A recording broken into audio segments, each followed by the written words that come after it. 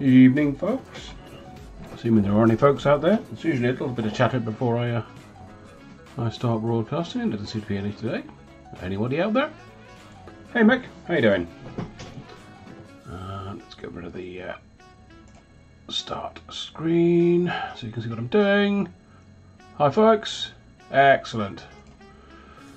So that answers a few questions. Uh, I can see myself on the screen. There is me. You can hear me. That's good. Uh, okay, cool. I think we're going to crack straight on with this, I think. Uh, where's my glasses? So, a few of you might have seen on um, on Instagram and on uh, various discords and what have you that I've been working on some Lumineth. Um, I'm working on a nice sort of autumnal theme like that. Uh, it's a really nice, easy scheme to reproduce. I've been sort of knocking through it on these uh, wardens here, and I've got some. Uh, oh God, what are, they called? what are they called? They're not called Swordmasters of Hoeth, but same sort of thing. Uh, Blade Lords, there we go. Vanari Blade Lords.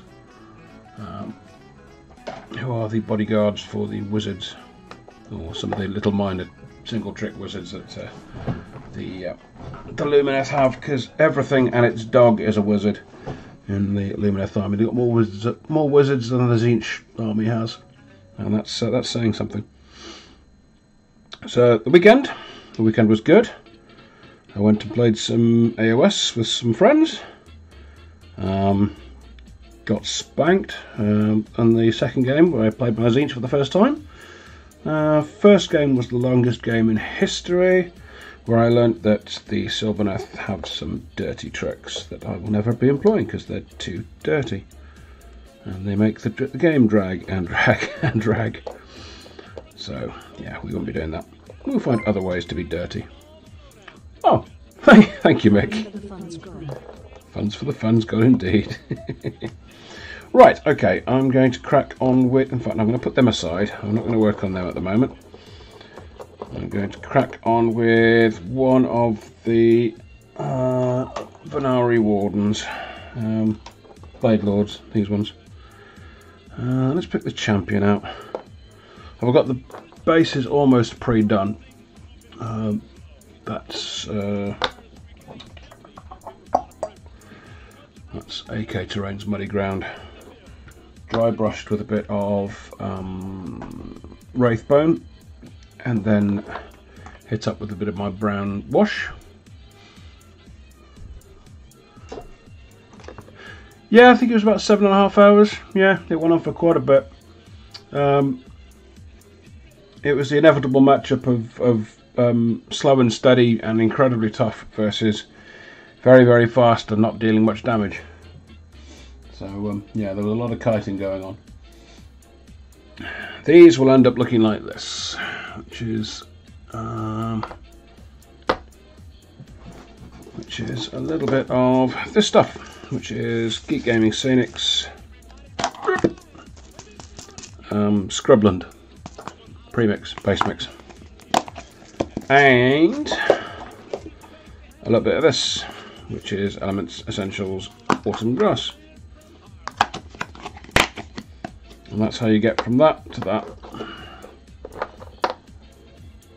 So those pre-made ones are going to be used for my archers. Uh, I should get busy on these though.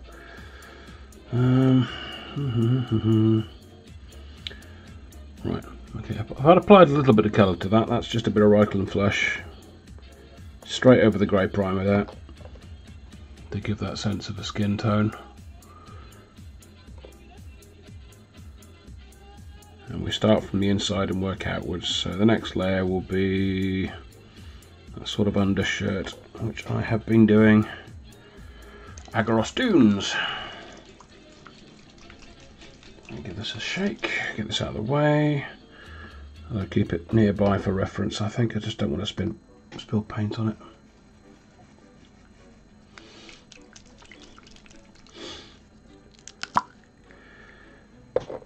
There we go.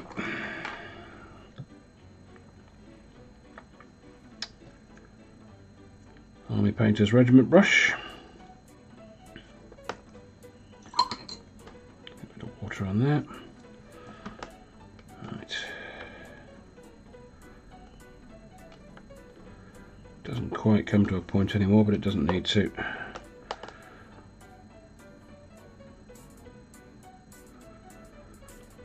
This is a sort of a mid-grey primer with a lighter grey zenithal over the top.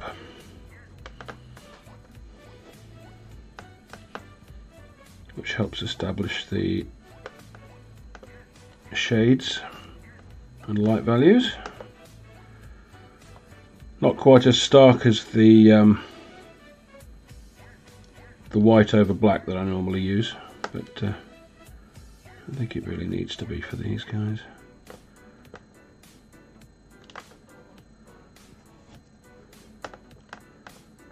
Um, yeah. the back of his shirt there.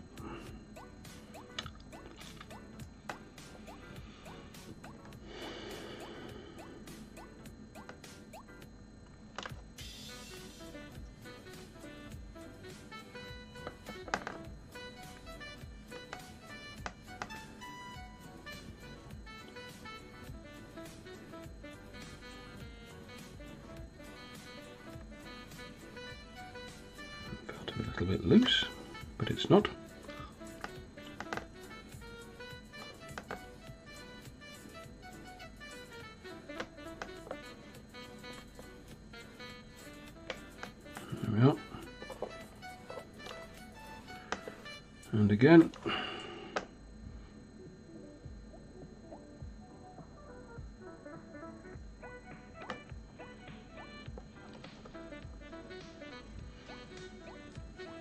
So this is almost slap chop. Slap chop has a, a slightly more sort of heavy contrast to it. That's the uh, the white zenithal or, or light grey zenithal over black, and then all over white dry brush to pick out the uh, the highlights um, and give a sense of edge highlighting, and then contrast over the top of that. It's really effective. I like it. That's very fast, uh, so appreciate that. But it's not quite the effect I want for these guys. I want a... Nothing I paint is clean, but a cleaner look.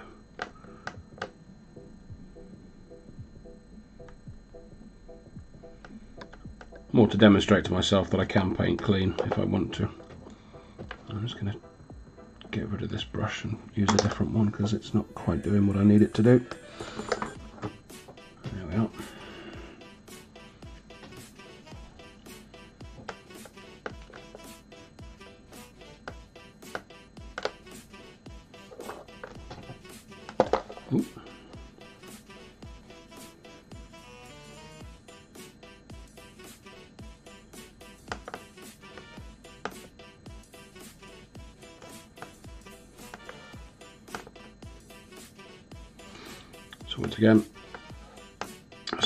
For the, the innermost surfaces and working outwards.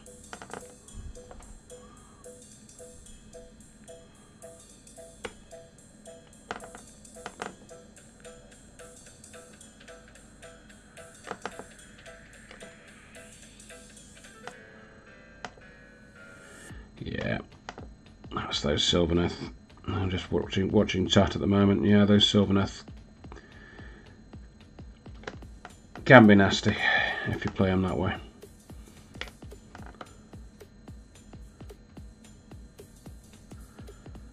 Well, not nasty, frustrating, deeply, deeply frustrating. Um, I think there's a time and a place to play them like that, and every time and every place isn't that. If that makes any sense at all.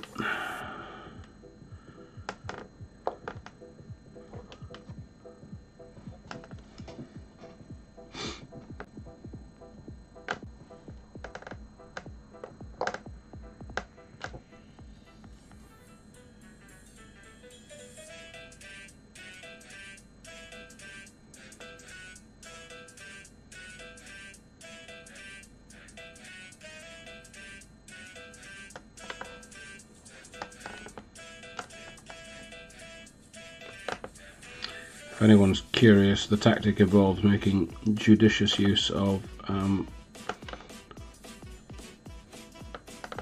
the Dreadwood subfaction and Strike and Fade with a particular um,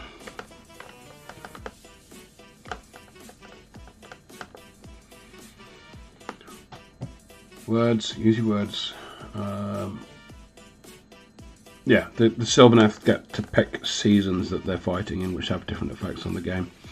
And there's a particular season that uh, enables the uh, the strike and fade to be particularly effective if you've got lots of wildwood on the board, which is kind of the Sylvaneth thing, having lots of wildwood.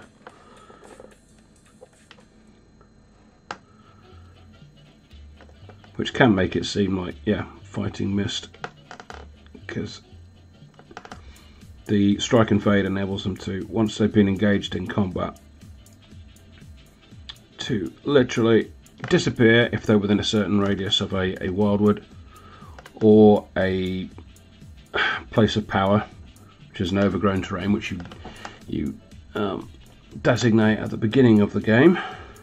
You've got three of them on the board before the game even starts, and reappearing next to another one within nine inches.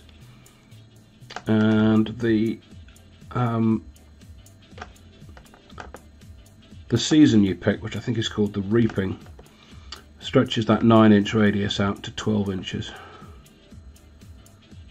Um, and a lot of some of the the uh, Sylvaneth troops can do that natively, which is really really irritating.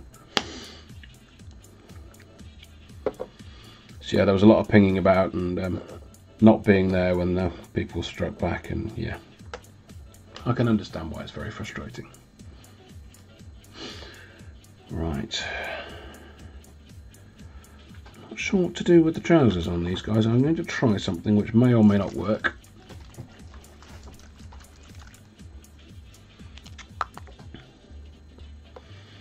And that's use a bit of Fuegan Orange, which I noticed has a touch of autumnal pink about it. Yeah, that looks kind of cool. We'll go with that.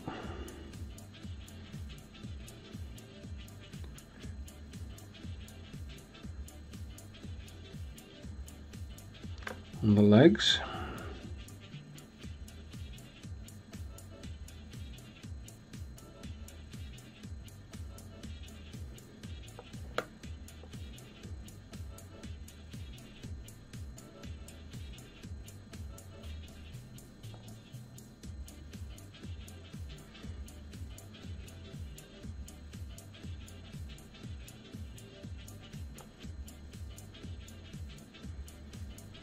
Fuegan Orange is just an ink, and this is straight over the uh, the base coat, the prime coat, primer.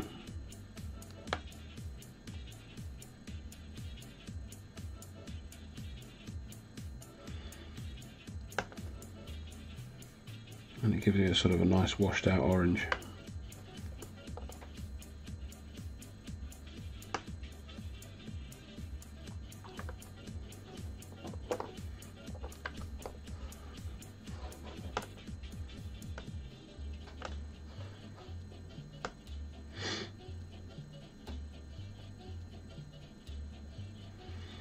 Hey, Commander Autism.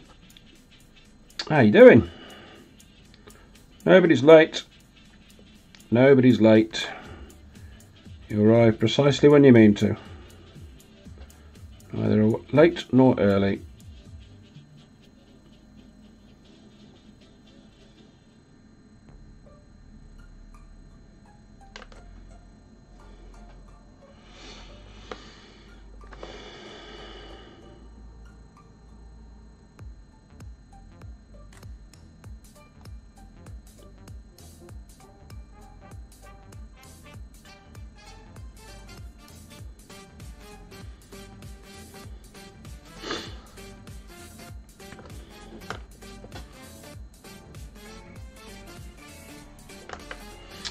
Yeah, Mick, I heard you were having a bit of um,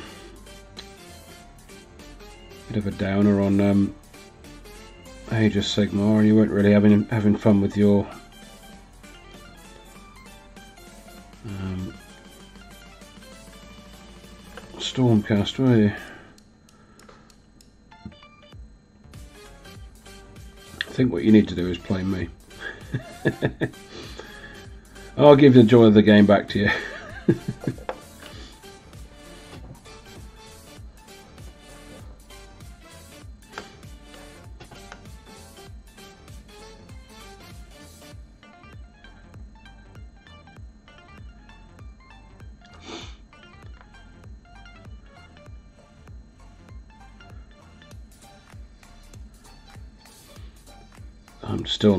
I'm doing in uh, Age of Sigmar.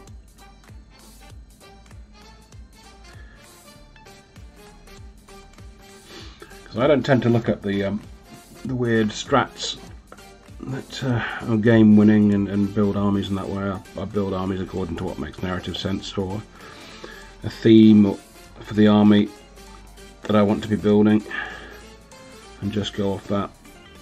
So it's always a constant surprise to me when people pull out these uh, combos of this, that and the other that auto win engagements. It's just... Uh, okay, I hope that was fun for you. Wasn't particularly for me, but know, whatever.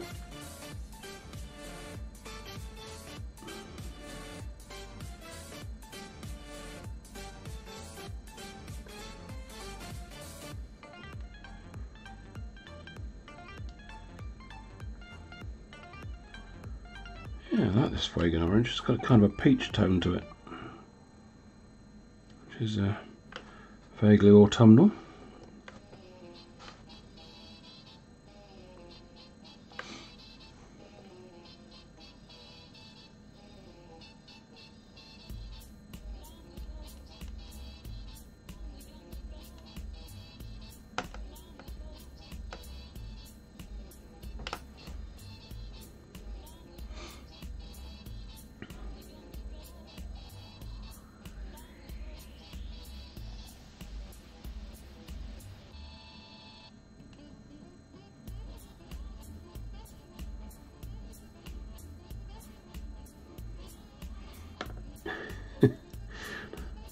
Not easy to shift, Joe. It took you two turns.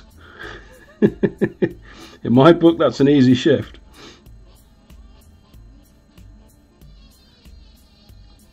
I think the entire game took two turns.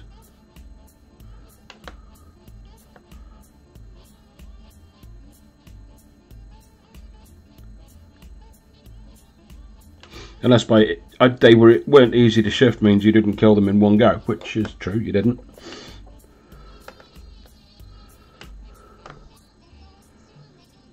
20 of them.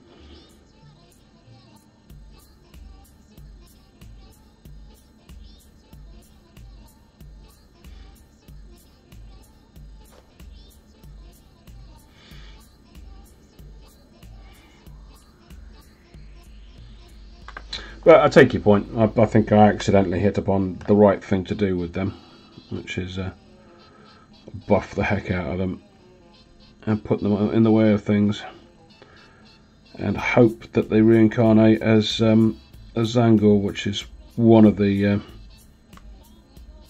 the Tzeentch things. They cycle their Kairic Acolytes into Tzaangors. Which is why I need some more Tzaangor. I don't have enough. More Tzaangor. Goats for the Goat God.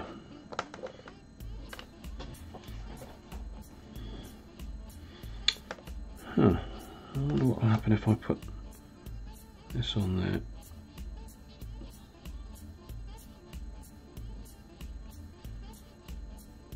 Yeah. Maybe we won't do that. Maybe we won't do that, he says, carrying on.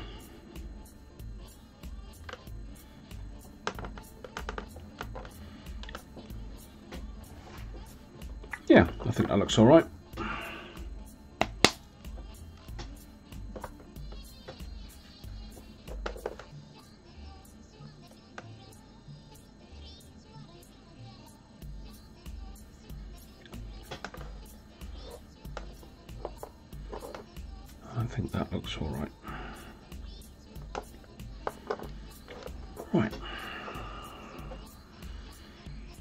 For the next tool in the toolbox, which is fast becoming a favourite tool for me. Particularly if you're doing white. That's Mortarion and grime.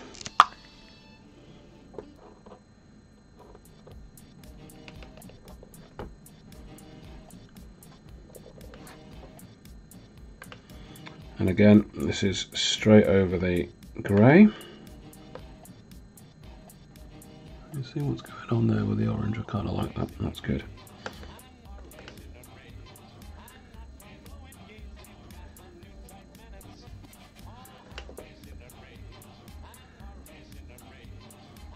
Mortarion Grime of course is one of the new shades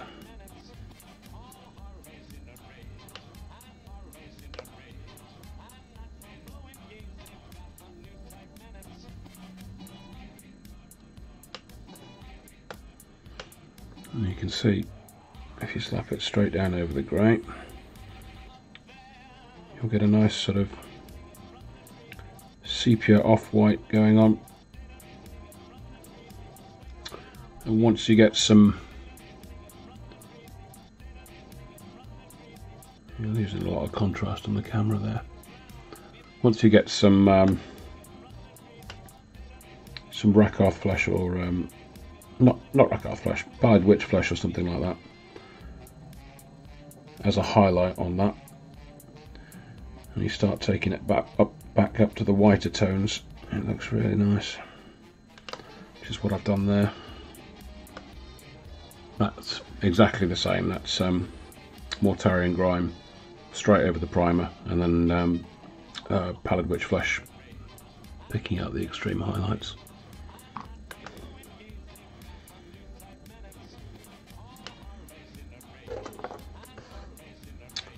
Anything else of white that I need there?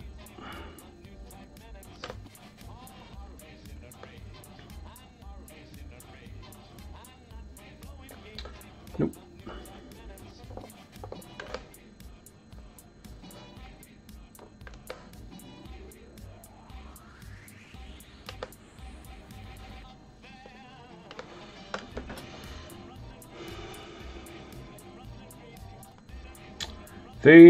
These are... Well, you know what faction they are, surely.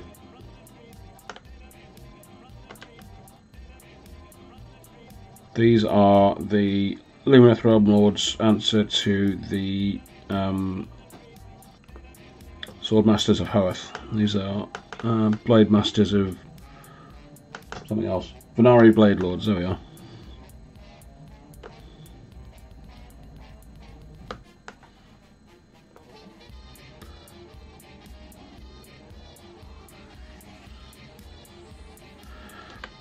as I like to think of them, Games Workshop's apology for cow elves.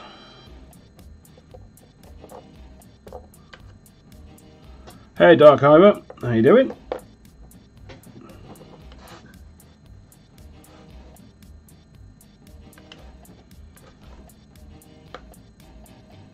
Once again with the Mortarion Grime.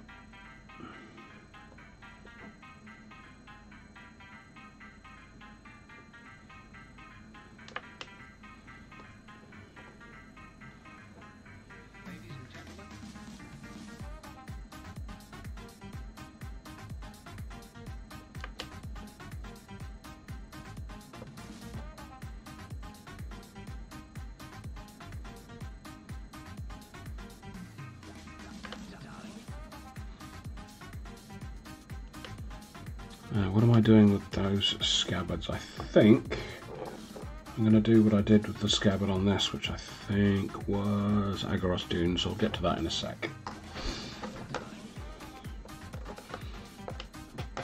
Let's get these. So now I've got the process going, I've got to keep going with it. Otherwise I'll end up with. Uh, unpainted miniatures at the end of this again.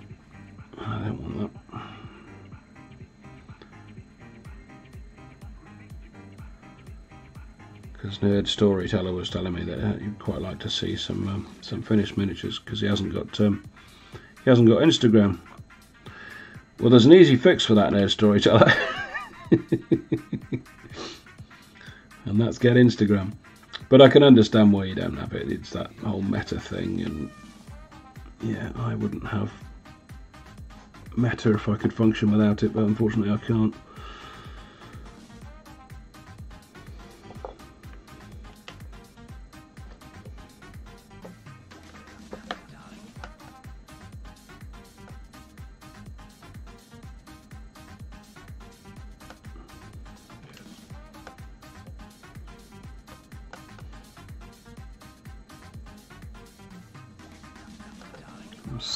Impressed with this um, Mortarion grime as a means for producing off-white that sells as white. So impressed with it. I mean, you wouldn't think it, but it just looks, yeah, so cool.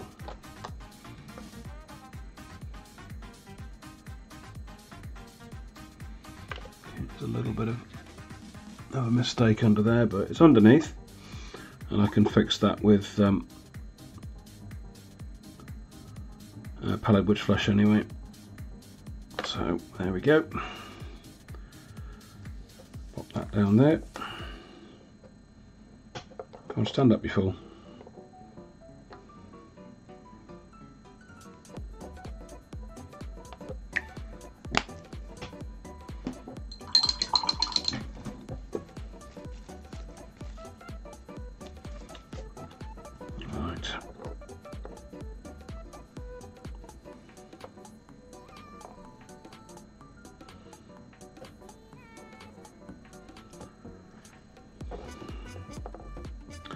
Problem with doing things with inks is they do take quite a while to dry,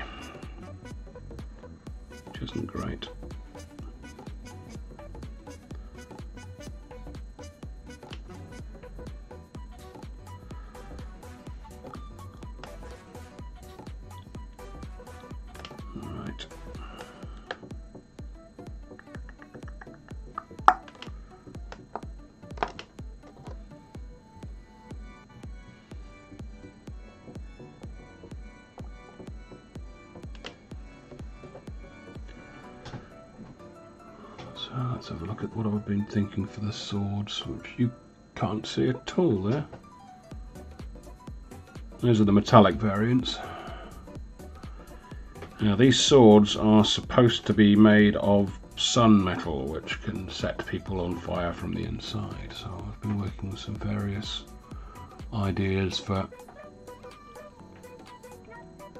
sort of a magical flamey effect, and I'm getting sold on this actually because this is nice and simple. It's just, um, again, contrast, because I'm like that um, Iyanden yellow over, over the, the primer.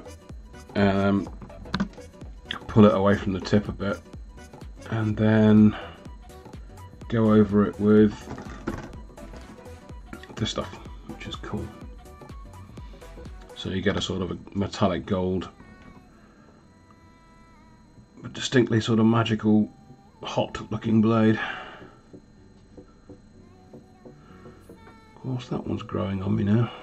That's a bit more involved. Hmm.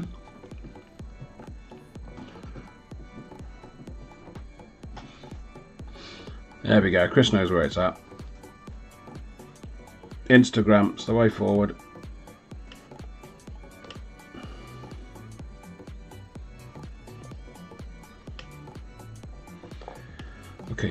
I'm do? I'm going to grab this whilst I'm waiting for the um, Mortarion Grime to do its thing. Because I've decided these guys are not wearing gloves. So I'm just to get the Reikland Fleshshade. I'm just to fill in straight over the primer.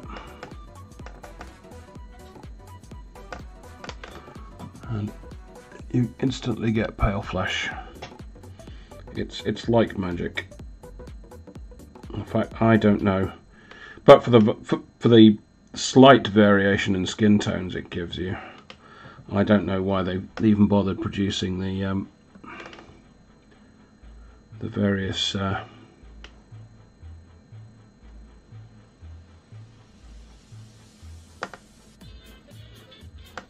flesh tone contrasts, Caucasian flesh tone I should say.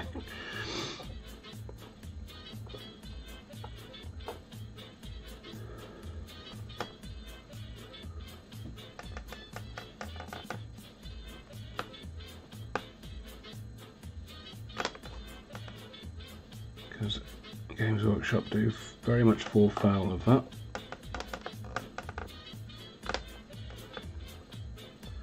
Calling the pinky colours flash tones and the uh, colours you'd use for darker skin tones, things like Bestial Brown and Gore-Grunta and this, that and the other. It's, uh, it's not a good look, but they're getting better. They're getting better.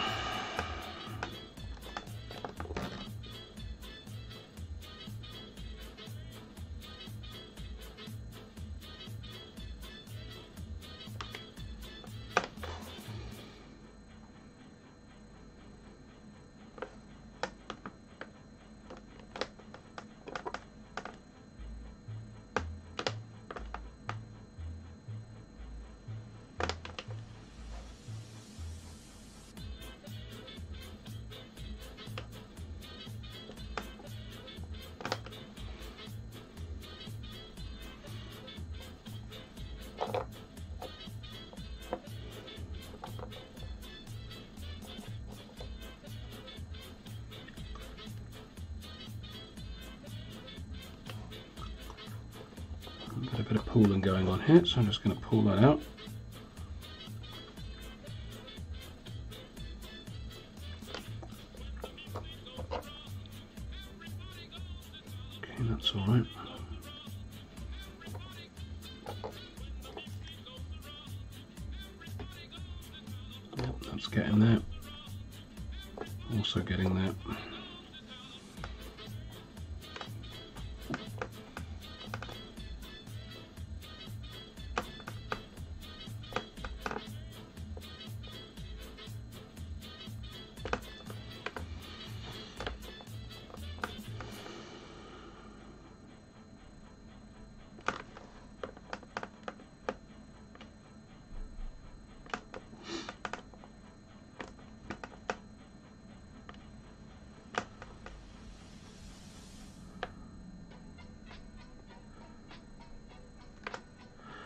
So what are you guys getting up to hobby-wise? I'm told that a number of you are painting and, and otherwise hobbying whilst watching me or listening to me. So what's on your hobby-esque? And why?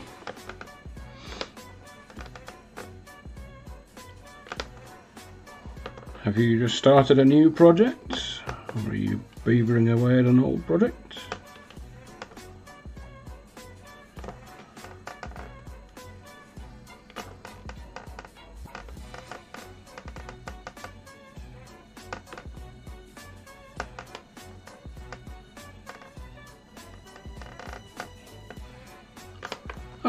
Just watching make. That's oddly gratifying. Hmm.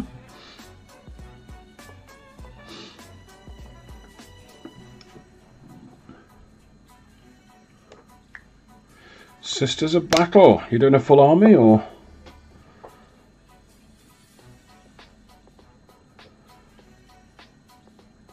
I say Sisters of Battle is one of those ones I keep flicking away at.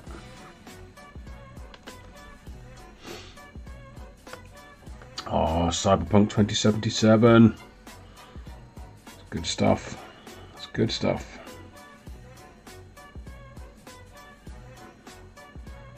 Right. Okay, so I think we're we're slowly drying off now, so this is good. We can start picking away at the yellow, and for the yellow I'm going to be using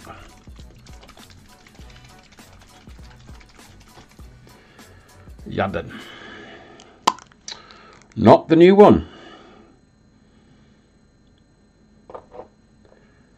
Not the new one because I kind of prefer the effect that this one has. It gives you a nice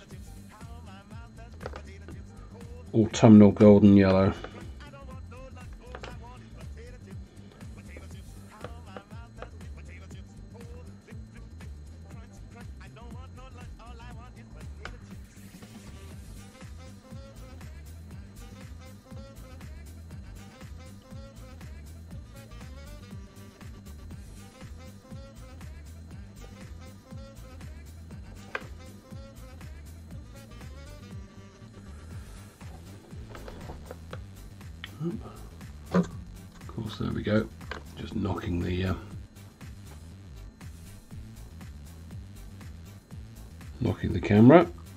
Traditional.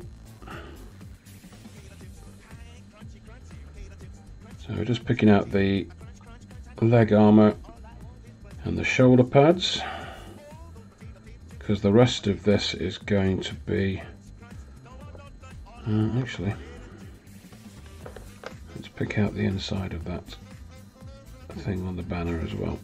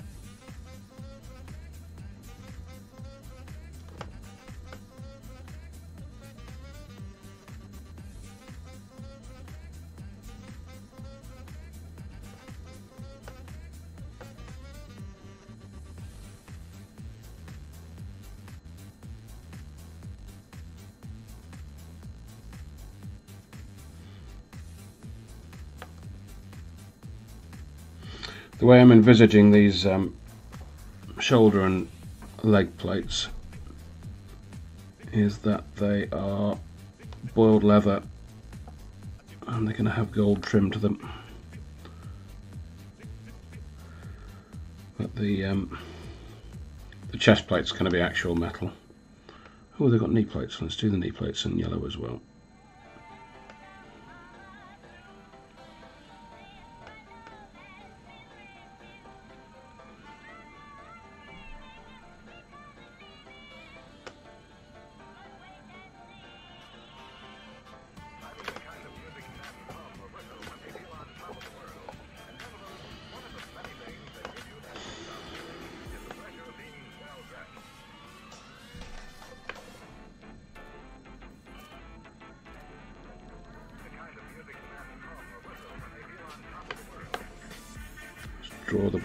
To where you want the darker areas.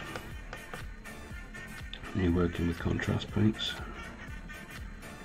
Draw it into the recesses, towards the recesses.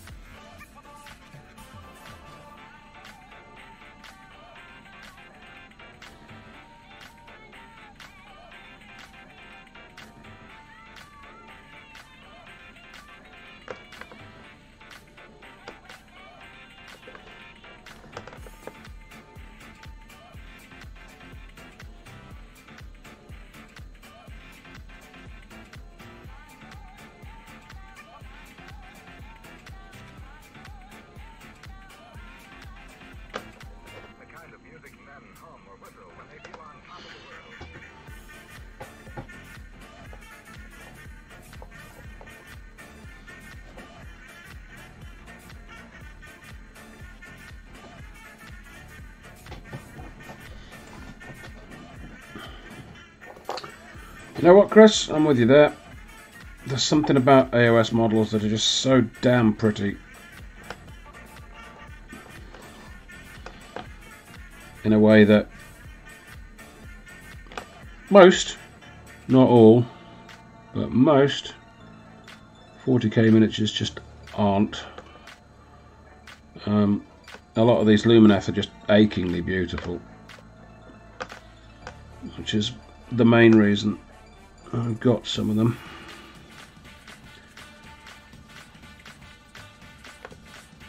I used to have a thing for elves and all things elven kind. And back in the day, I used to have a wood elf army and a high elf army and this, that, and the other elf army. Uh, I played an elf in live roleplay for the longest time. Probably not the longest time now. It's been a while. Um, I've been a while playing something else now. But I think it's still the majority of time playing an elf. But, um,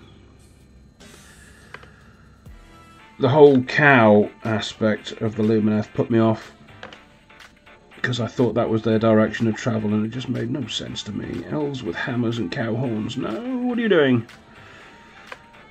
Um, but they seem to have rethought that and brought some back, back of some of the uh, the old world high elf aesthetic, which I liked.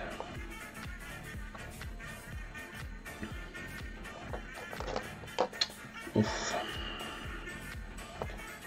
So this is the problem. I've got to stand these guys up, otherwise the contrast paint won't pool correctly. You won't get the right sort of shadows. This is why people stick things to corks. I do have corks, but I'm bloody minded and I will persevere.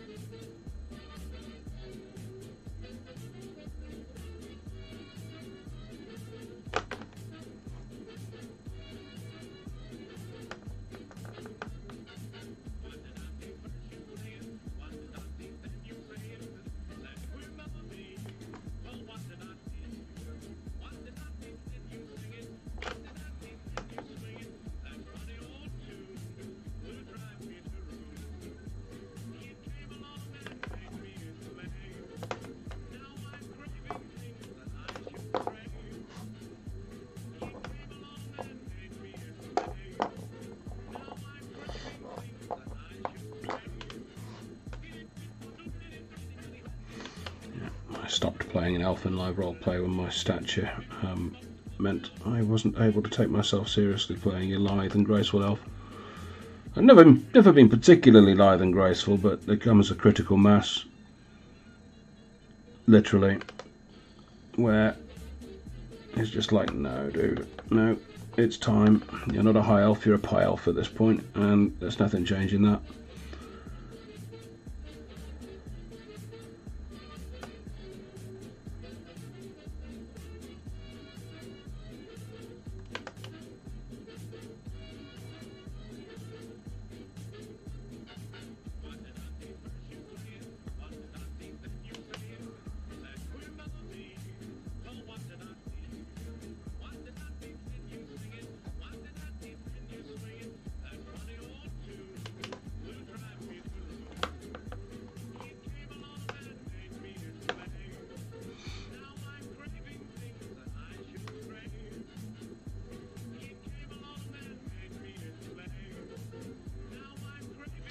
This would be much easier if they were attached to bases, Chris. Much, much easier.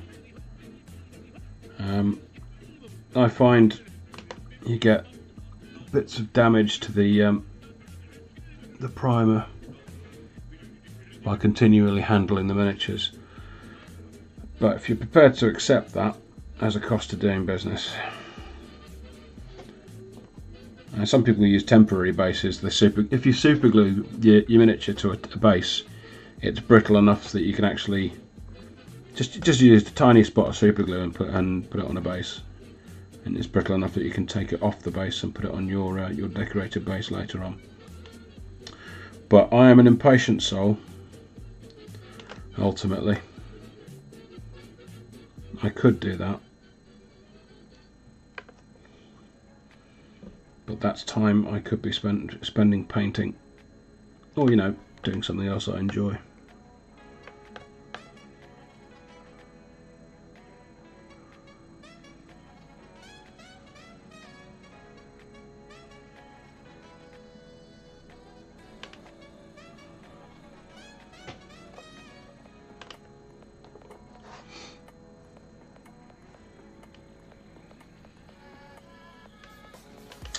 certainly wouldn't recommend this approach to anyone. You're probably losing more than you actually gain.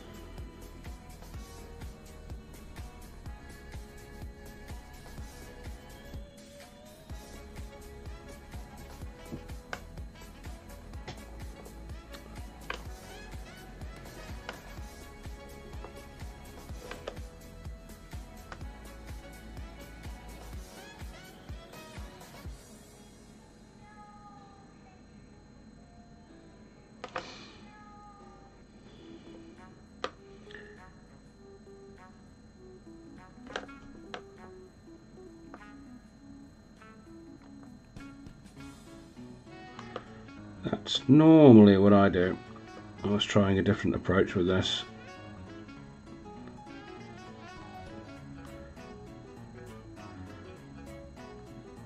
Because I was finding what I, I usually end up getting the basing material and the glue and all sorts of all over the miniature and it's it's not ideal.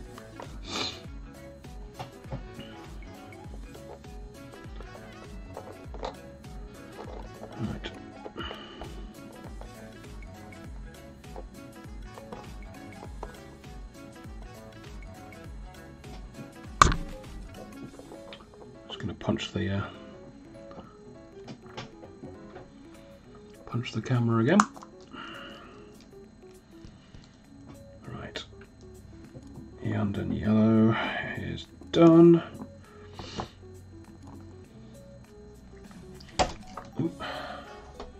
Just smack the light.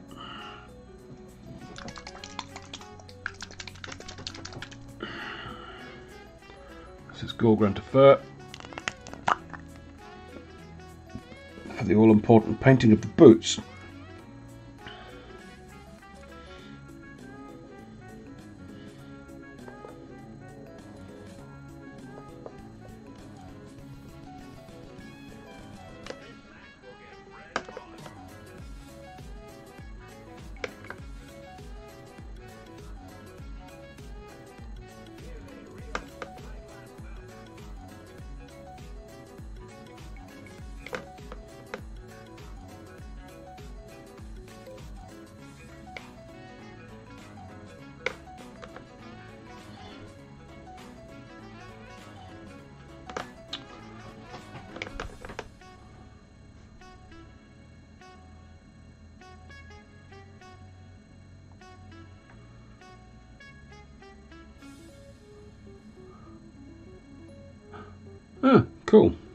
sounds cool. I should look forward to seeing them at... Uh, I take it you're coming to Ballfest?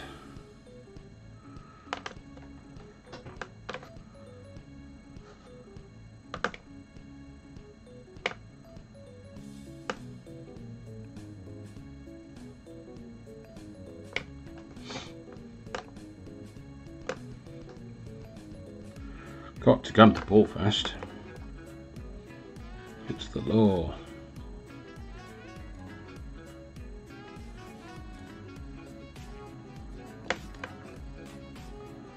That note, quick, quick plug for Poolfest being organised by Tabletop Events.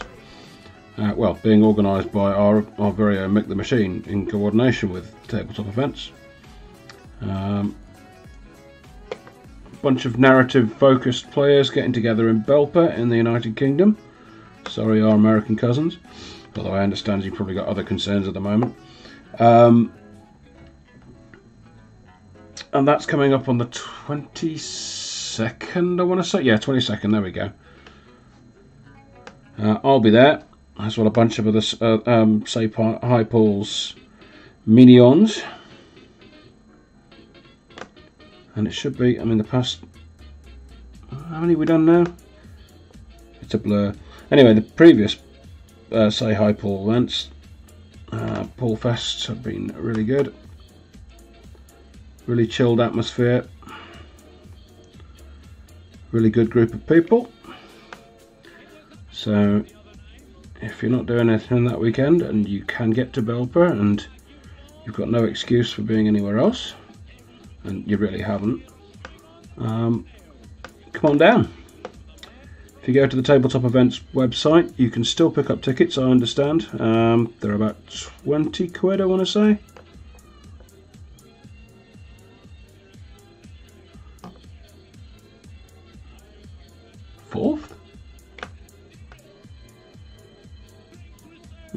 say hi Paul 3, isn't it?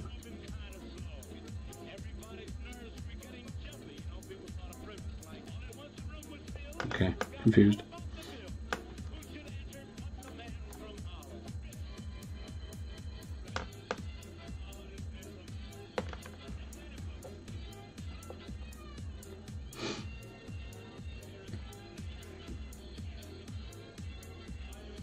Ah, yes. There was an AOS event. Oh, I don't remember that. Probably because I wasn't at it.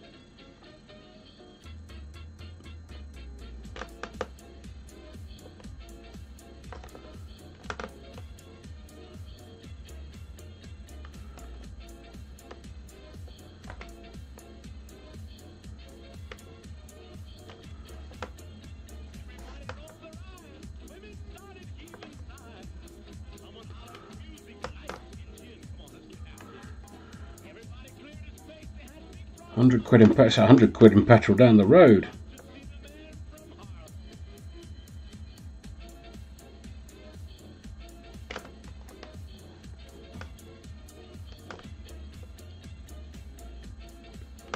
Fuel prices are ridiculous at the moment, I can fully understand that, but you know, if you will live in Scotland, and in fairness, I can't blame you for that at all. I would live in Scotland if I could. I absolutely would.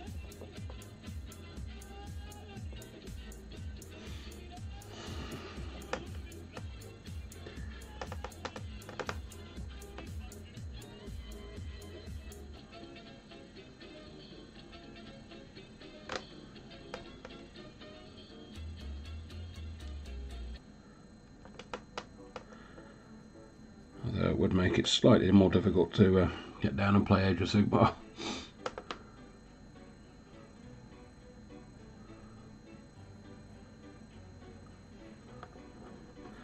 I thought you were in Scotland. Why did I think you were in Scotland?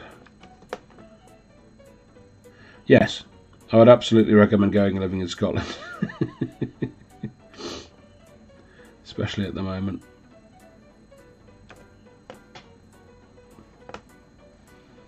Staying there until a certain referendum goes the right way.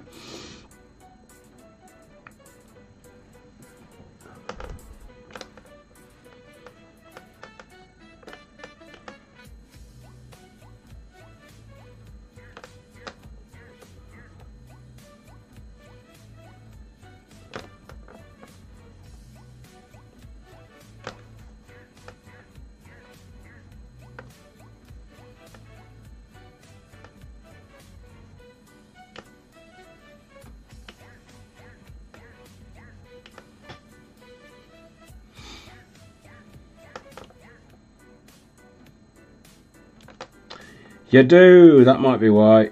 You do sound very Scottish. I assumed that was because you were Scottish. That's usually how it works.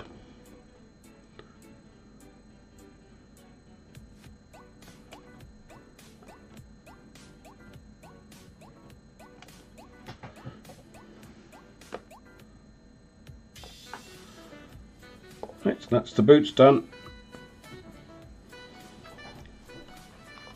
Critically important part of the, the, the miniature, the boots. Very, very important. If you don't get the boots right, give up. Whew. Well, I think they're coming along. I mean, that's just a handful of colours, and already they're starting to look a bit sort of autumnal and uh, yeah, I'm liking them already. Let's keep plugging. Uh, next, we are going to reach for the base colour from Metals.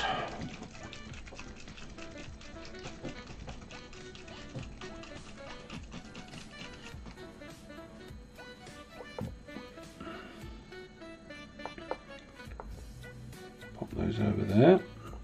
And we'll work on them one after the other.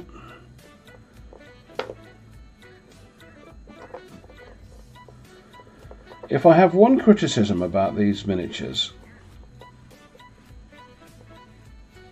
and it is only one criticism really, because I do generally love them, uh, it's that it's very hard to spot which is the champion.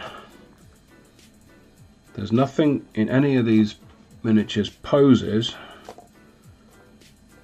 or even normally one's got a fancier hat, and that, as it is actually the case in the, for these guys, it's this guy. But you wouldn't know to look at him that his hat was any fancier, really, than this guy's.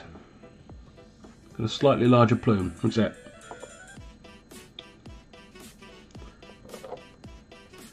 So the chance of you pulling the wrong miniature from your unit because you don't can't really tell which is the champion and which isn't the champion. It's quite high. Right. Okay, base colour for the metals, except the sword, is going to be Garaghak's Sewer, another colour I'm falling in love with. Because it is so good. Right. Let's move that over there, because I'm left-handed, and I keep forgetting that I'm left-handed. I'm putting the paint pot where I have to reach across myself in order to get to it.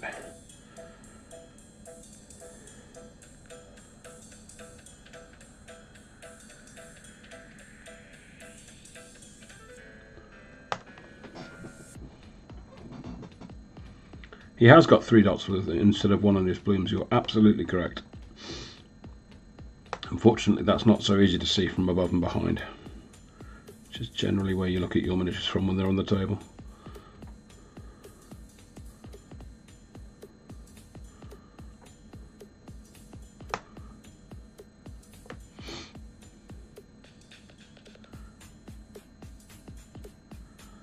Have other ways of marking my champions. Um, like this guy has a coloured tuft on his thing. I'm going to be carrying that on.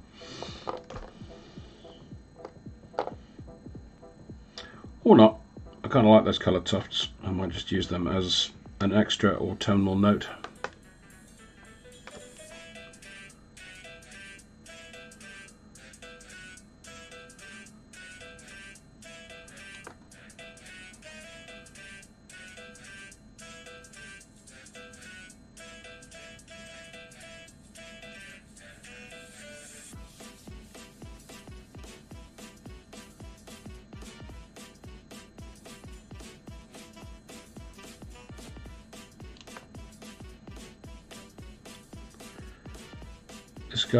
Sewer is a brilliant base colour for metals, especially golds and bronzes and brasses, but also for rusty iron and steel.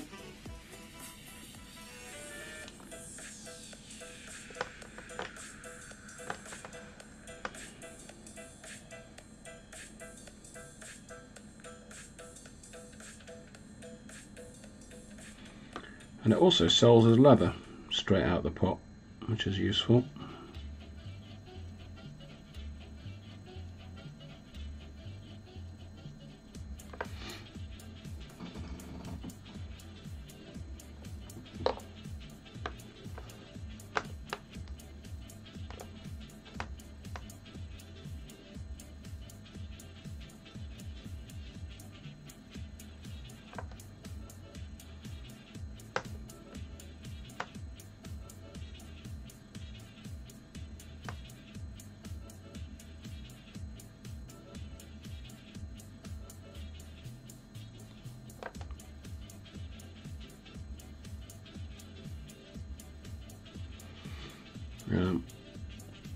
Because I'm basing these loosely on the third age elves from Lord of the Rings films, uh, they are going to have gold coloured armour.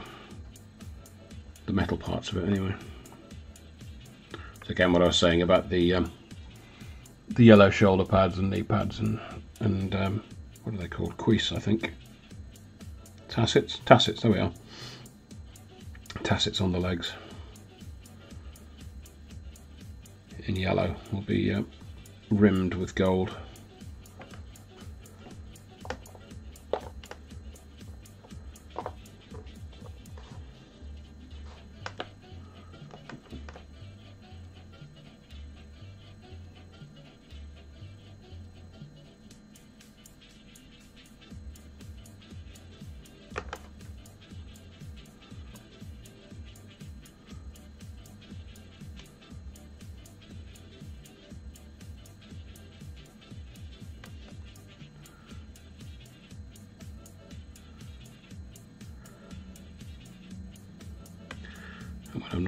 Be reasonably quick here.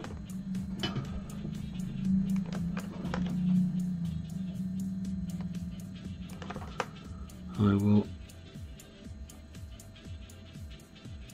go around the edges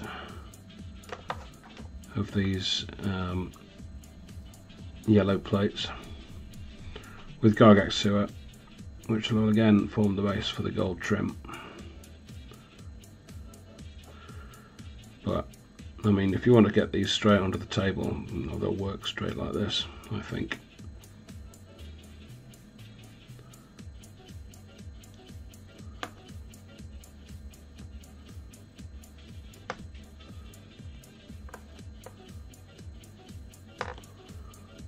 Oops. I've got some of the Garaghak's sewer on the jam. No, no, no, no.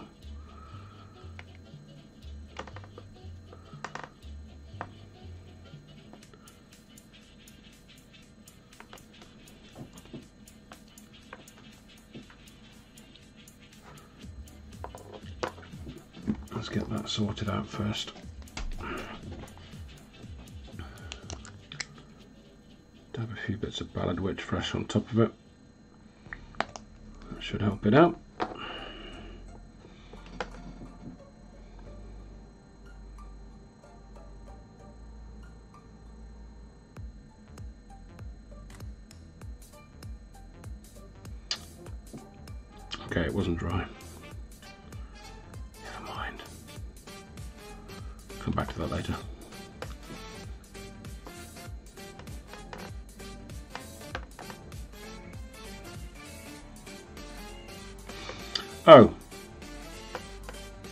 Just noticed there is a bit of metal I am missing.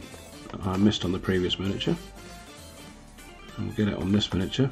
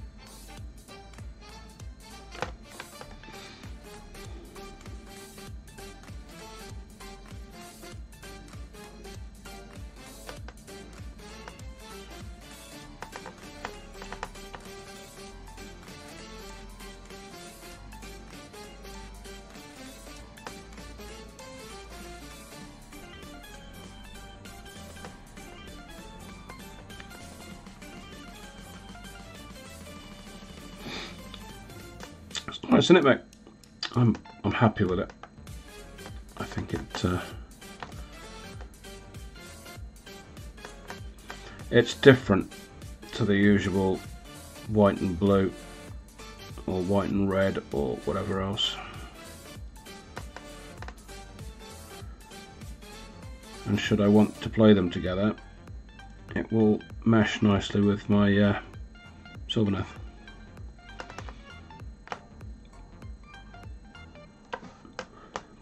My Sylvaneth don't really get on with elves, my Sylvaneth, not Sylvaneth in general, but as my Sylvaneth don't get on with elves, I can't see that happening anytime soon.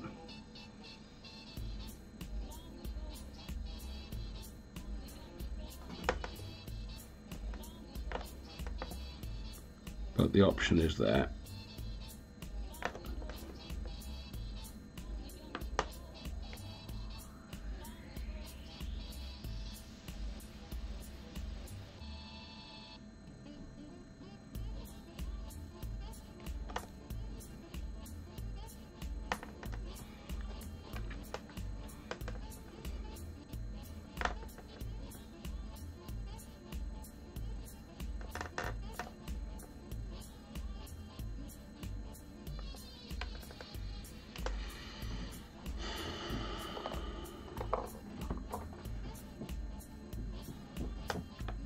See what I mean about Garaghak's So It's just, oh, what a good colour.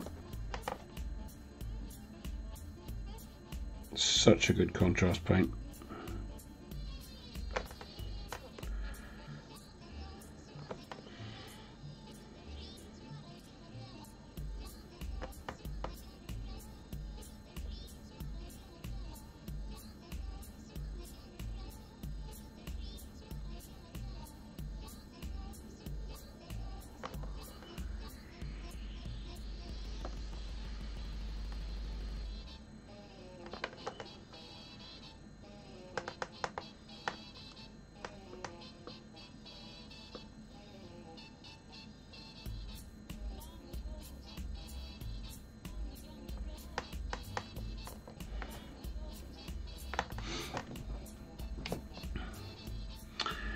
Will go nicely with my trees.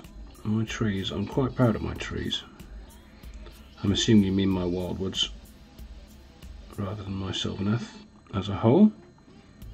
Well, kind of proud of both of them, but the recent addition were the um, the wildwood trees, and for what was literally like 20 minutes paint job, I think they came out quite well.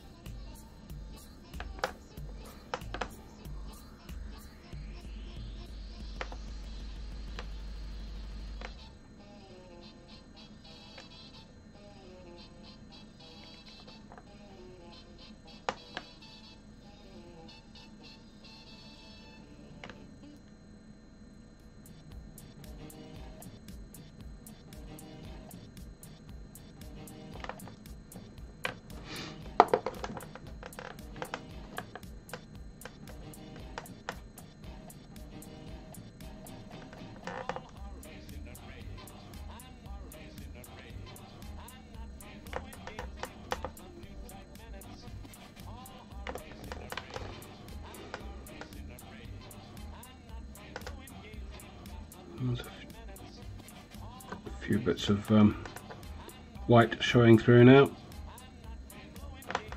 But once I've got the um,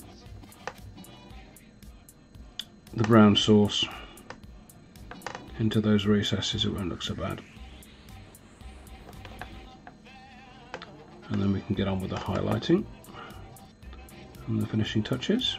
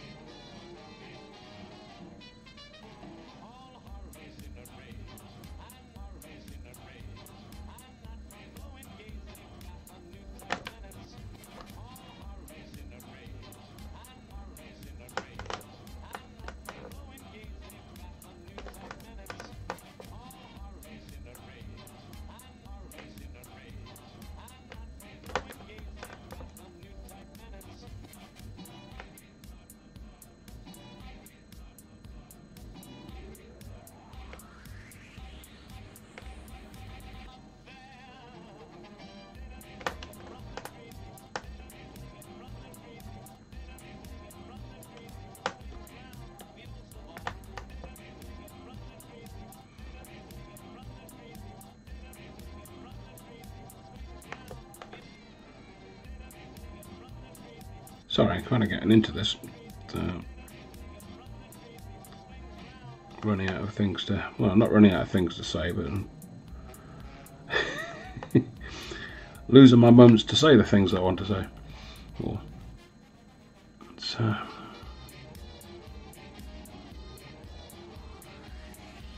lot of fun, this.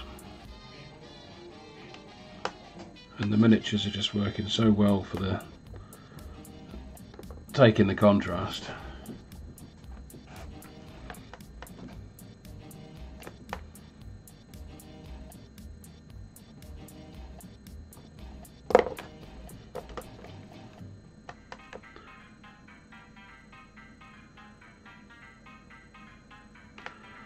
I may have an Arcane Cataclysm box set on, on order, so I've got another load of Tzeentch coming and another load of Elves coming. Yeah, I'm not addicted, I can quit anytime.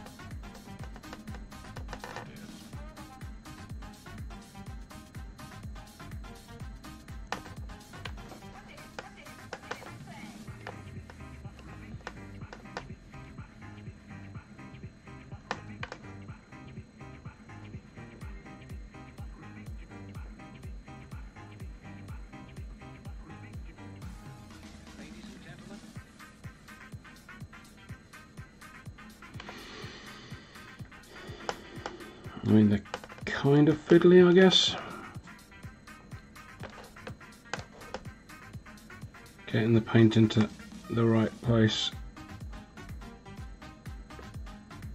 it requires a bit of confidence, I suppose. So that's ultimately what it boils down to.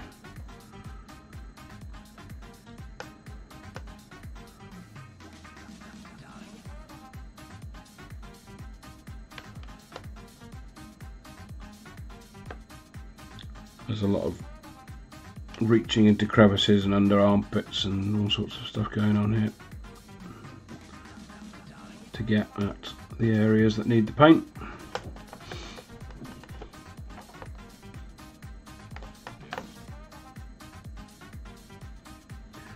Which is where a true slap chop style would come in handy because all those crevice areas will already be in a very dark colour and deep shadow by virtue of the chop shop, um, slap chop method.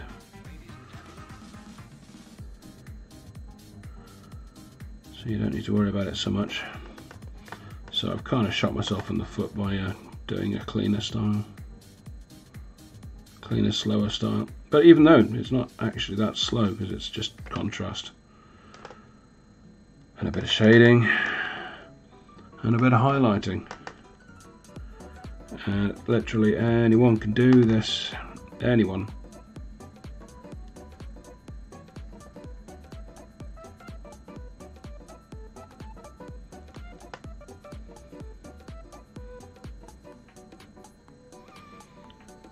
Appropriately sized brush and a bit of confidence.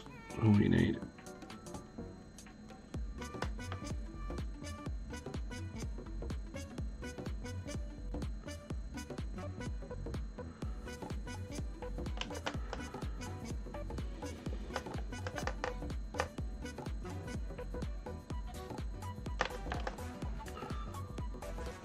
There's no technique to this, I'm just slapping paint on. And the fancy uh, contrast medium is doing the rest.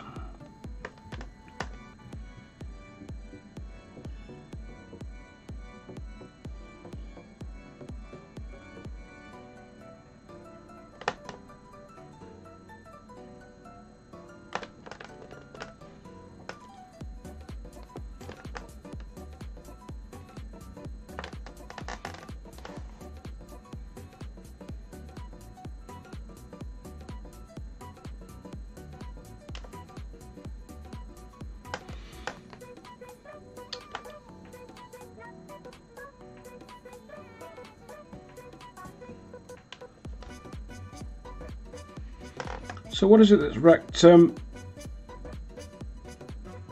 AOS for you, mate? Was it just for those games at the weekend that sort of knocked the stuffing out of you, or is it something that's been creeping up for a while, or what, what's the deal?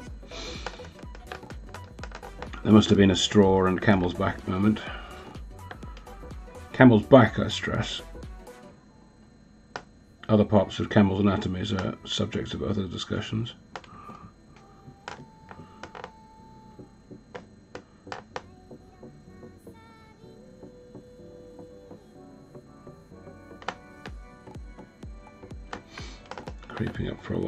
Yeah, sometimes it gets you like that.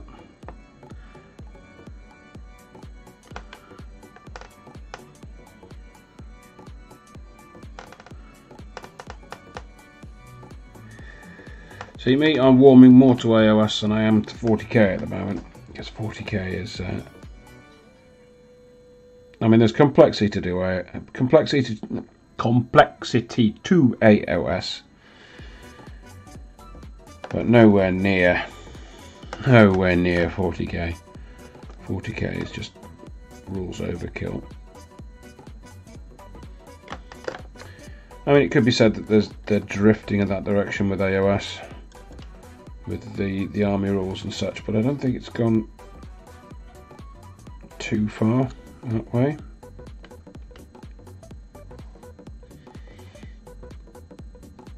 The potential is always there but I don't think it's where they're quite there yet.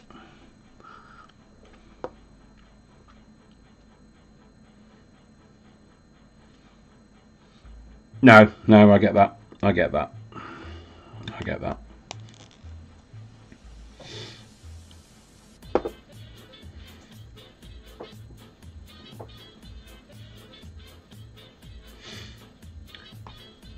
So if you're still coming to Ballfest, or maybe we'll bring bring one of your AOS armies along. I'll play you, and we'll uh, we'll have a have a novice game. Just for the just for the hell of it. How's that?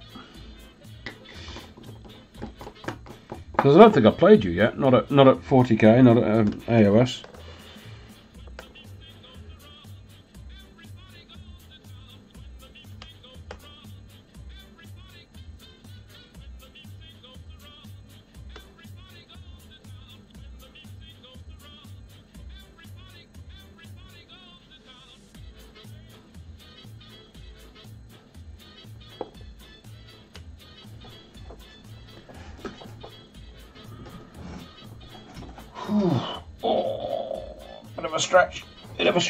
Oh, right, okay.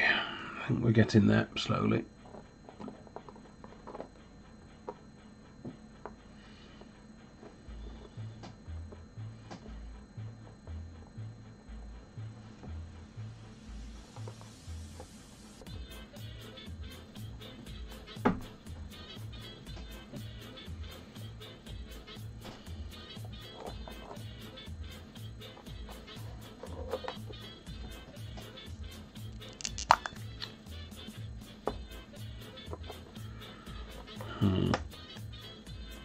Wouldn't say I've seen anything particularly quote-unquote ridiculous in AOS yet. There are some very strong creatures and some very strong um, armies generally. And unfortunately, I think Sylvaneth with with their recent battle tome is probably one of those stronger end armies, particularly with their mobility and ability to bomb people with trees. Um, but I've not seen anything truly ridiculous. It's it's just the way some people play, I think. Um, and that's not that's not the system, really. And I think the system lends itself to that style of play. It's just that people play that way. Maybe not. Maybe not even maliciously. Just that's just how it is.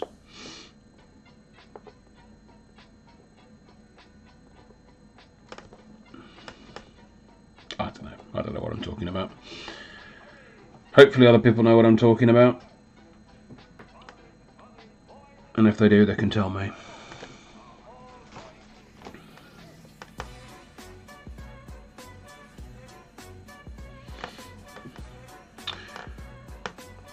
No, I, I, I, would agree with that, CA. I think it is uh, it's more intuitive. Uh, once you get your head around some, some cores, core concepts, it's uh, just um, it's fairly um, fairly intuitive.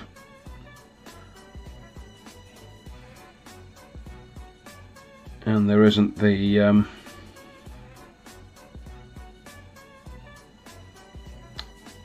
the relentless strat and um, yeah there's, there's not the relentless stratagem spam yet. Direction of travel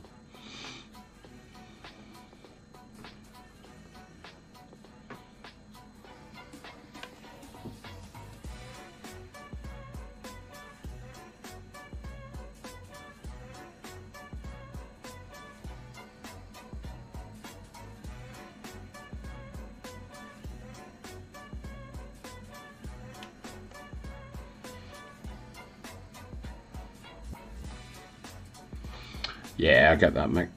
I get that.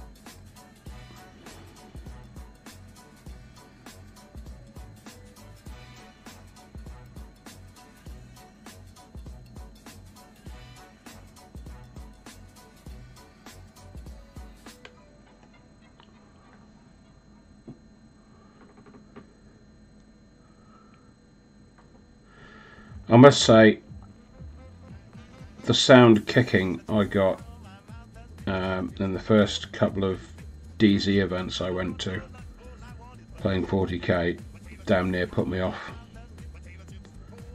playing. Damn near put me off the hobby again. It's a it's a hard thing to bounce back from sometimes, especially if you're you're not in a good place for other reasons. I'm not saying you are in a um, not in a good place for other reasons, but uh, it certainly doesn't help. Um, and the guy was playing. I don't think he was doing doing it maliciously. He was just had been playing for years, and he was a competitive player. Um, and he was putting tournaments lists against against um, me, and I'd not played before. So it was a foredrawn conclusion in that respect.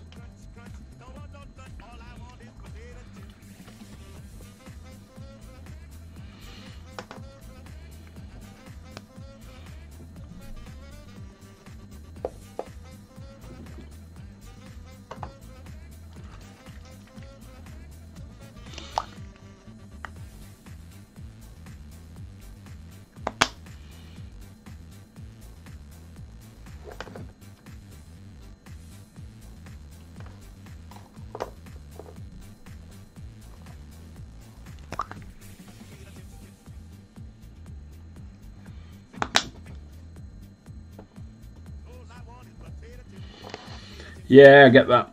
I get that. I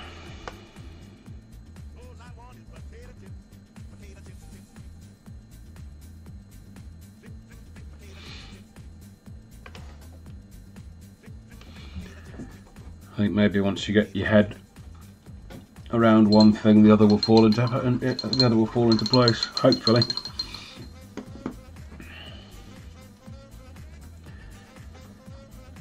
Nobody wants to see anyone else get driven away from the hobby. At all, ever. And it would be a shame if that's happening. So I'm thinking just play some other people maybe. You want to get But then if you're still playing 40k,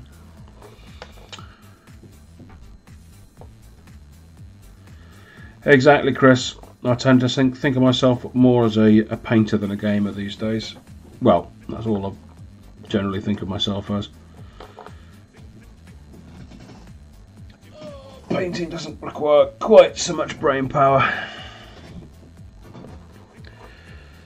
Right, I've just seen the time. And as is always the case, I mean, I'm making some good headway here. Making some good headway. But I think what I'm going to do is focus my efforts on the champion for now. And I will pop up some uh,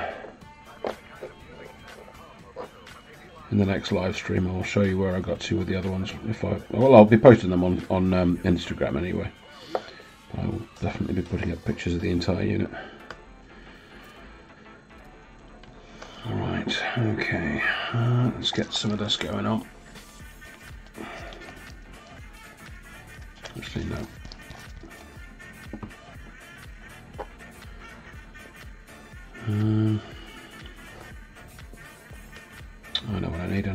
Aggaros Dunes. Where are you? Aggaros Dunes! Aggaros Dunes, where are you?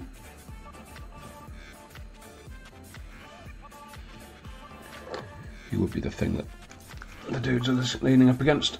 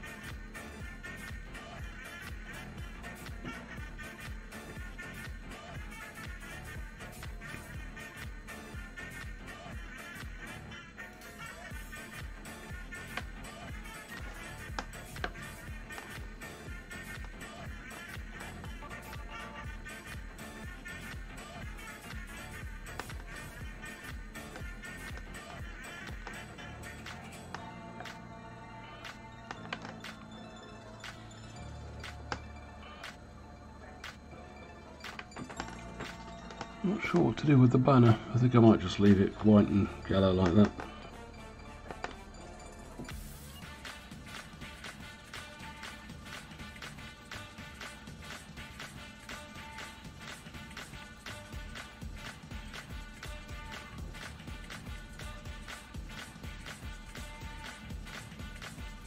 That is sound advice, damn it. There, uh, Dark Hiver. I think that's part of what the, um, what I suffer from actually.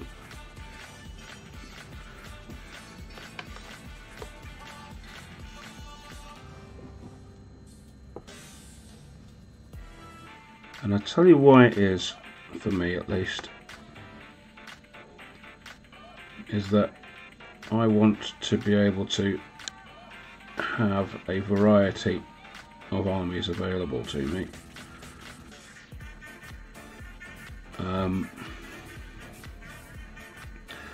Should anyone want to come around, come around to play, I, I, I need an army that can go up against um, whatever.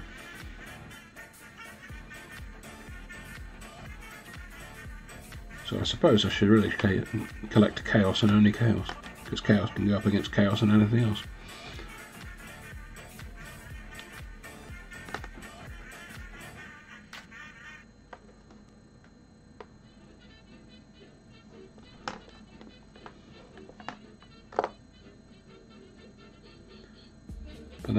Tend to collect a lot of armies. That and I suffer from the FOMO a bit.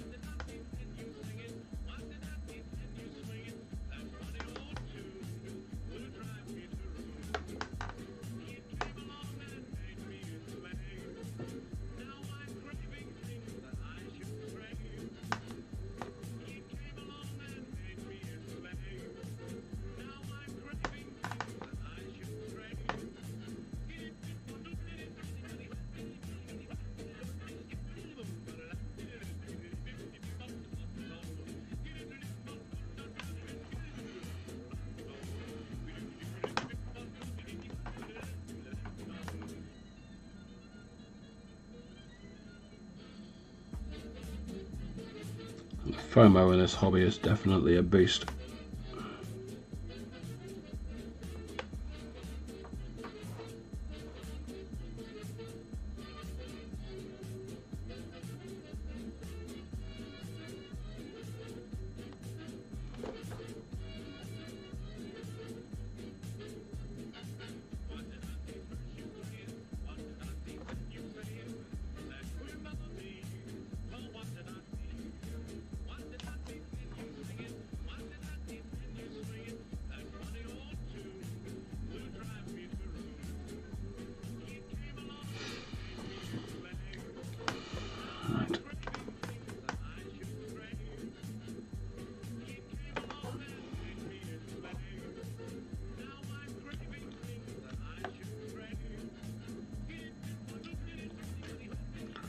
Apologise if I just took that off camera, I didn't realise.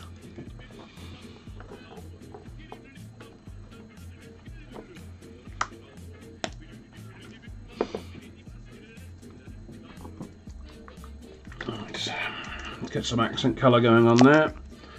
Nice bit of Flesh Tearers red, which is possibly the best red colour they do. And it will go nicely with the autumn colours splash of red on the tassels.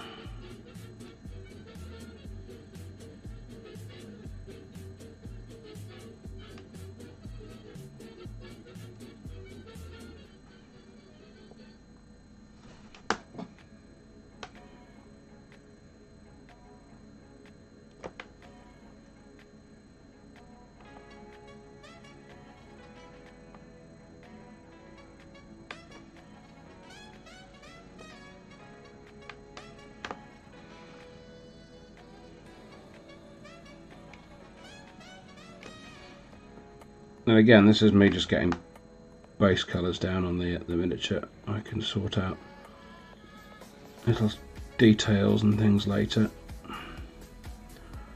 Like I might want to put an extra colour on the um, on the plume there. Maybe white or something. Or yellow. Yeah, yellow might work.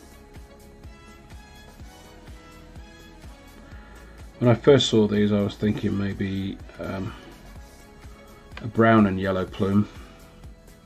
But then as everything else is brown and yellow I thought that might kind of get lost. And the whole point of a plume is they're supposed to stand out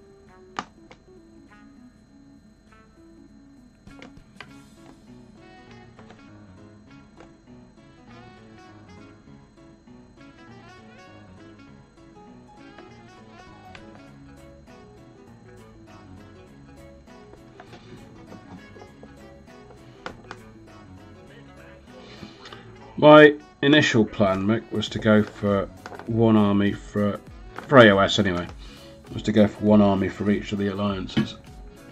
But that's uh, sort of fallen by the wayside.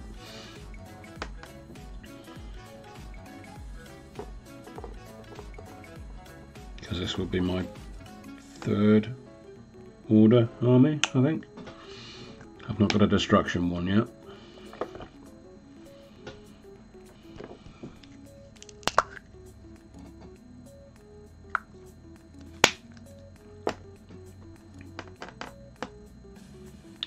Spotting little bits that are still white.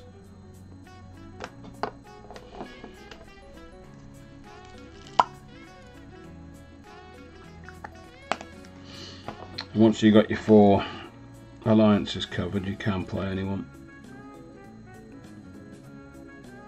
And not be restricted to chaos.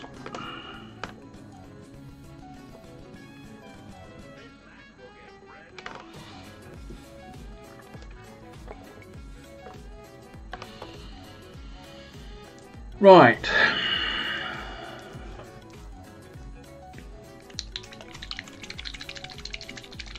Let's.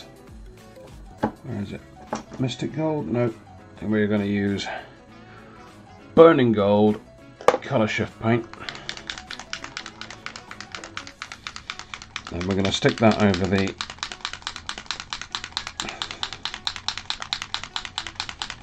Garaghak's Sewer.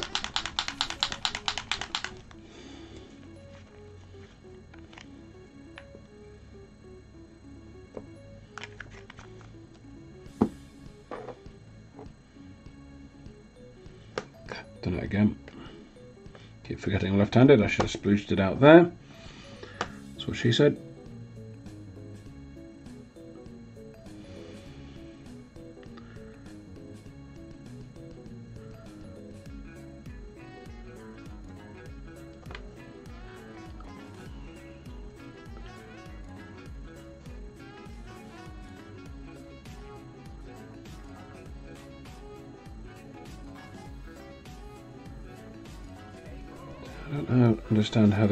Said to be orange and gold. Looks more green and gold to me. But, you know, press on.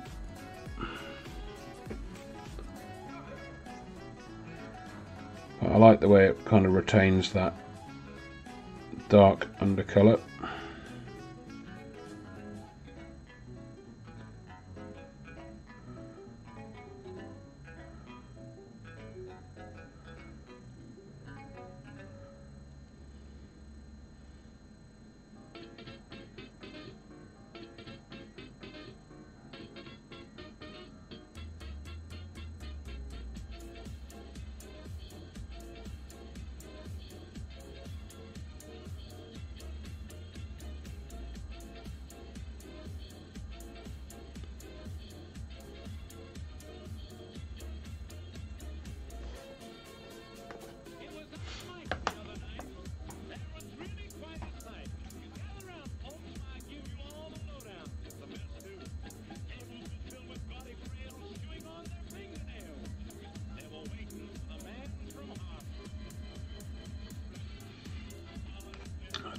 Colour shift paints, but I will say they go on much better if you spray them. Which makes them not ideal for this kind of work, but they look alright.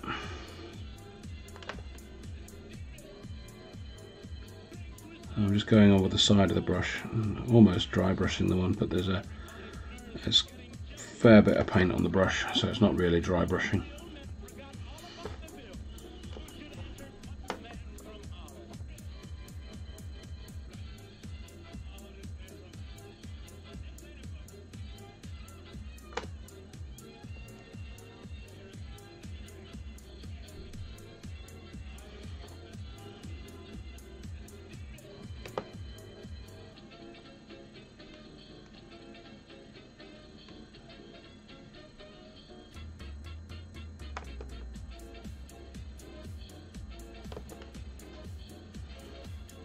Got a nice sort of mystical gold kind of quality to it. Looks kind of bronzy on the camera, which isn't too bad.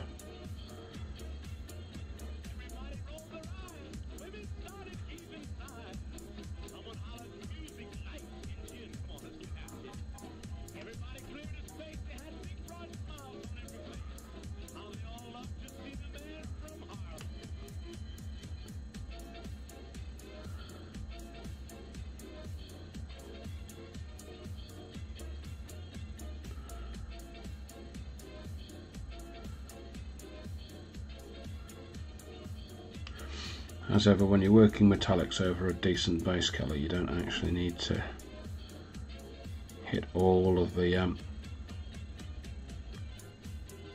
hit all of the surface with the metallic. You can just sort of almost pick out accents with it. I have I have, actually gone over all of the uh, apart from a little bit there.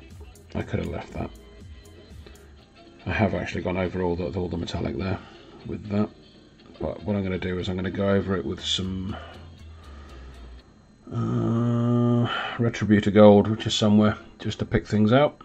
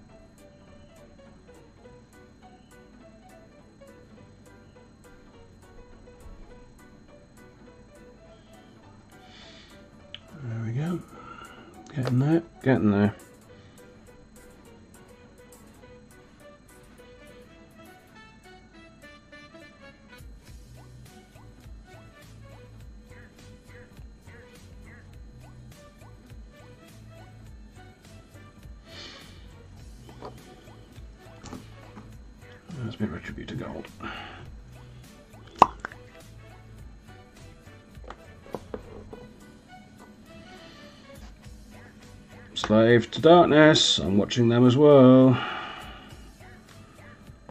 They look very cool.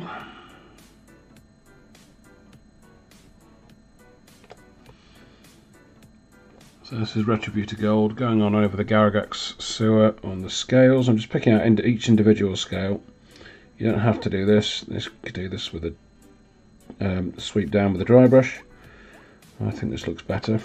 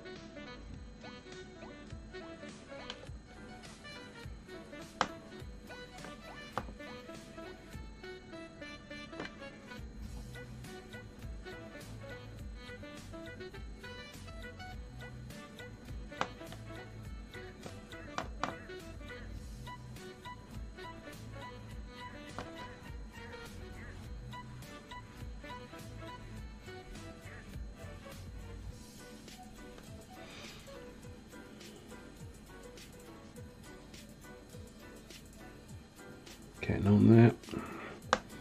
Let's get a bit more paint on the brush there. I'm just going to use the side of our brush to pick out the runes on the, guy's helmet and some of the raised surfaces just to get a little bit of variation in the gold. This is a good good thing to do with uh, with any metallic colour is just get a bit of colour variation going on.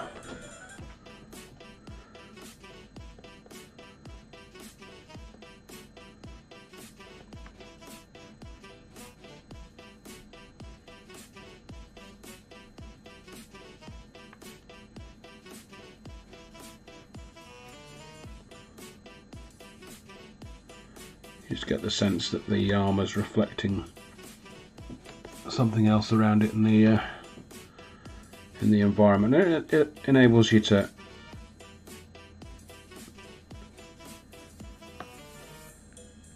get some points of interest in there as well.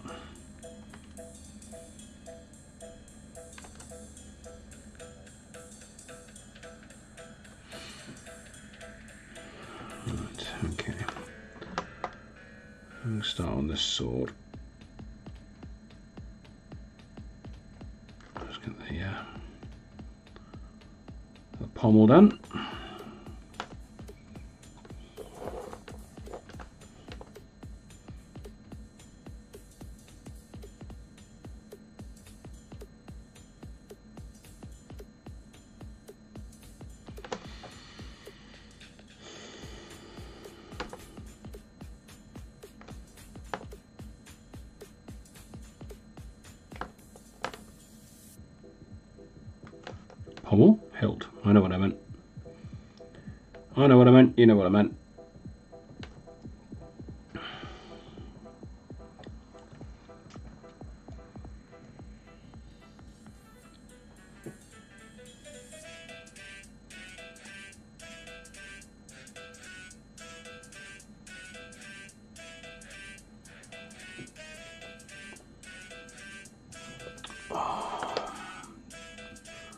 I'm going to have to paint those legs a different colour. I've just realised that looks way too much like flesh. Yeah, okay.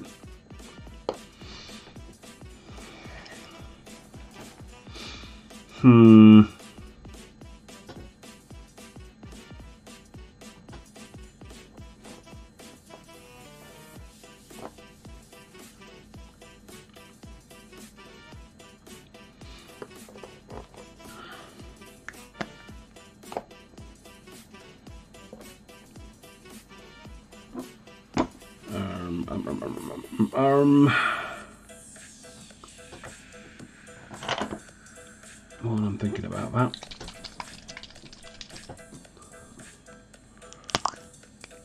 Thank you, Dark Hiver.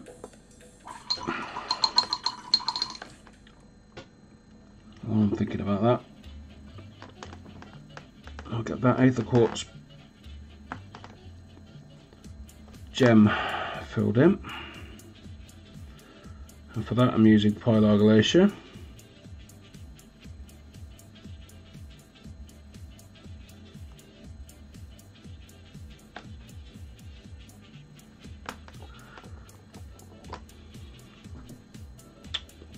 Now what am I going to do about them legs? What am I going to do about them legs? Them legs. What look they is look like they is not wearing trousers.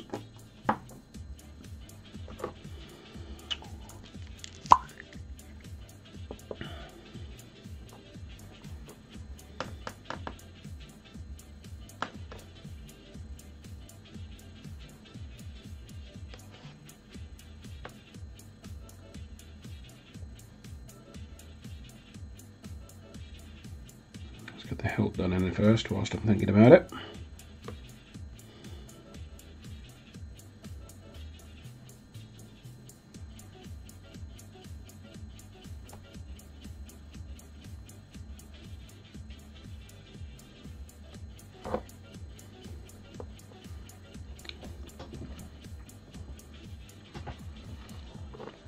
I think that might be the way forward actually.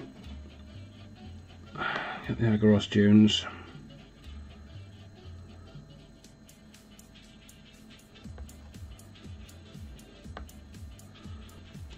Aggaros Dunes over the orange.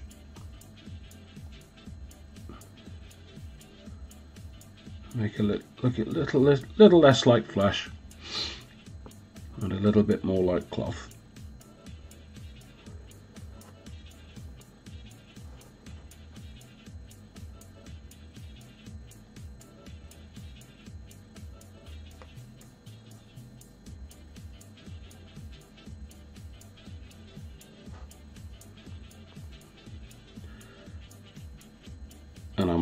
Some Fuegan orange over the top of that just to add a bit more interest to it.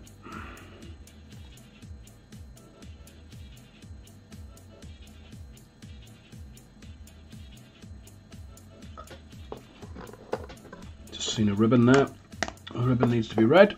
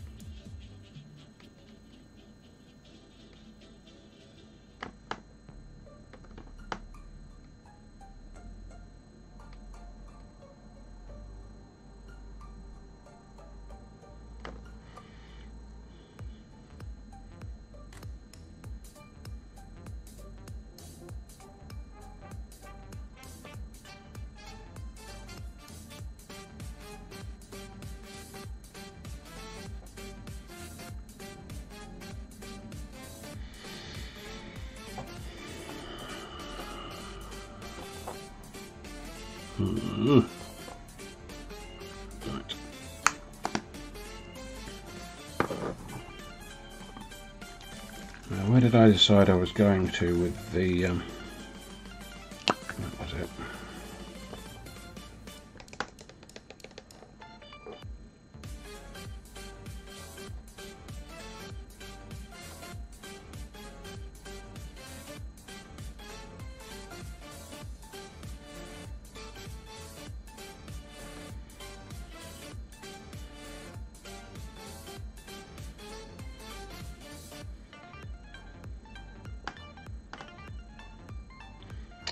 Uh, for those still paying attention, this is Cassandora yellow.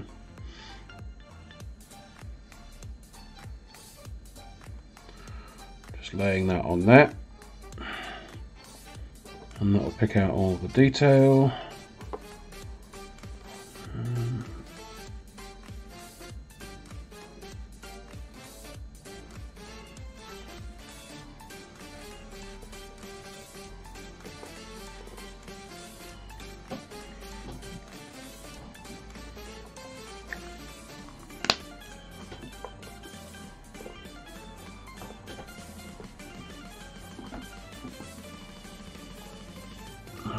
That's dry, once I get some once I get some of the gold filter on that, that'll look pretty pimp.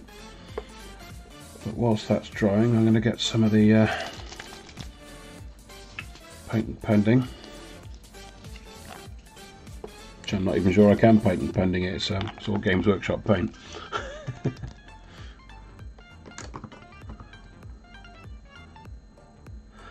Oh, you're welcome. Yeah, I can't remember what, what advice I gave you, but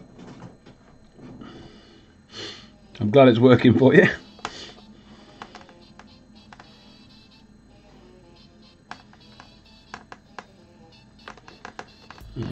Yeah, so this is the brown source, which I'm using to fill in all the gaps and add some definition and shadow. And make everything pop. I'm being a little bit more selective about where I'm placing it this time. Normally this is a goes everywhere kind of shade.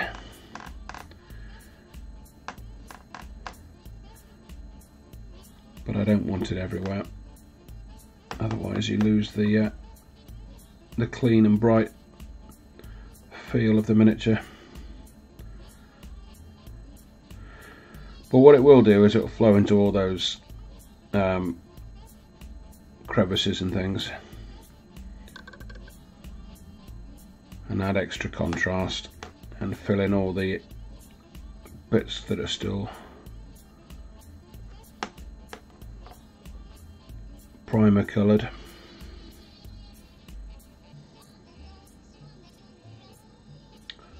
and it adds a bit of shading to it as well it's always good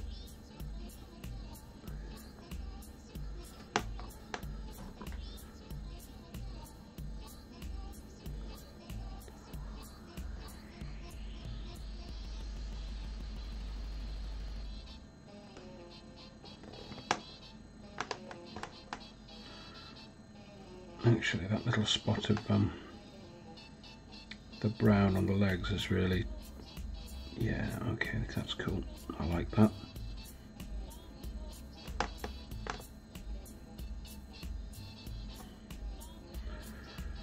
yeah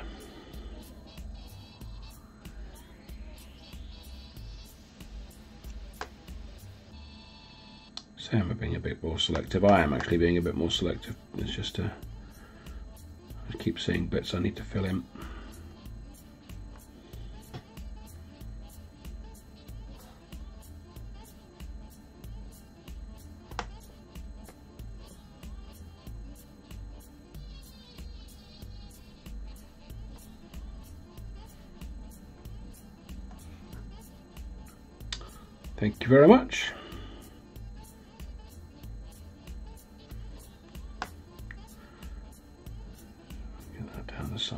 Well. Just fill that in.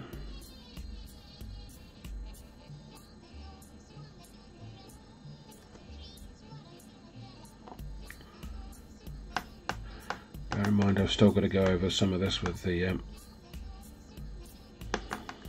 Pallid Wych flesh to bring up the white.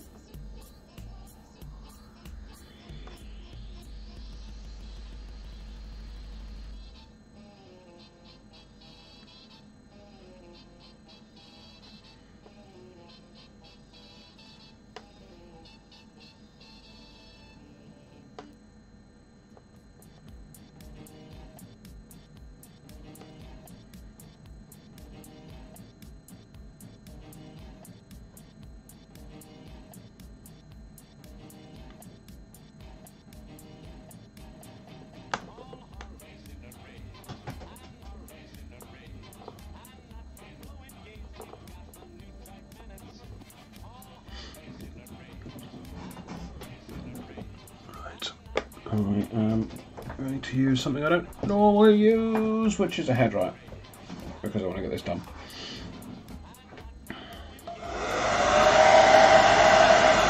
Apologise for the noise.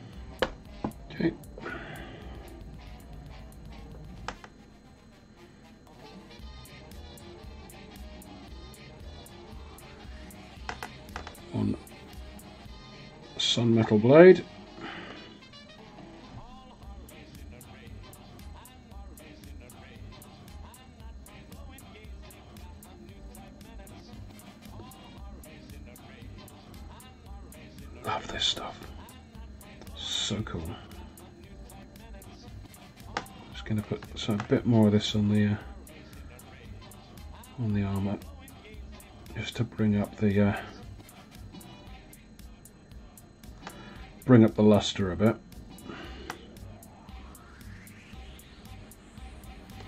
Because this filter stuff is properly glossy, properly shiny.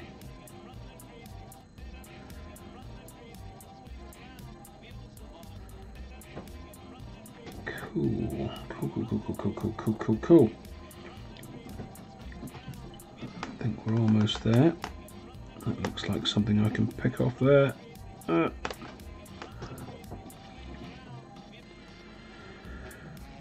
Um, right, clearly need to do something with the bobbles on his hat at some point. But I think Ah, right. No. Stop thinking. Pallid flesh.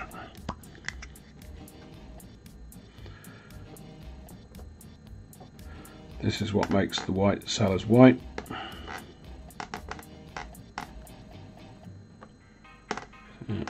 Pop that down there. Tiny bit of water.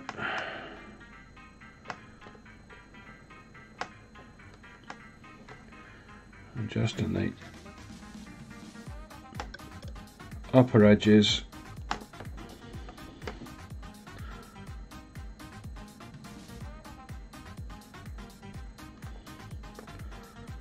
Just raise the upper values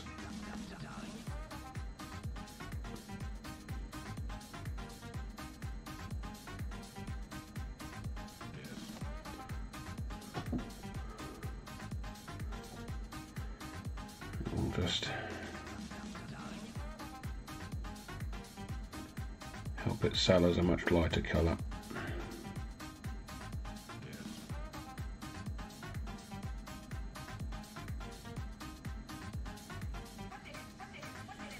Don't want too much on there. But slightly more than an edge highlight.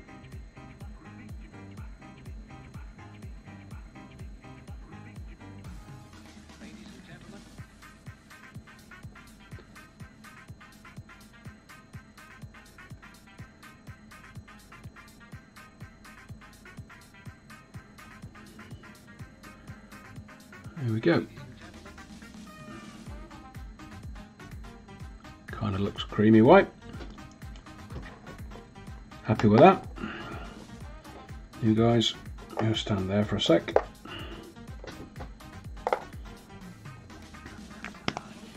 Because we're going to get the super glue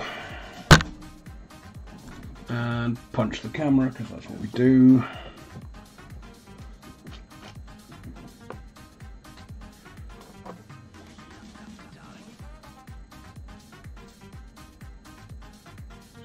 super glue, sponge of super glue.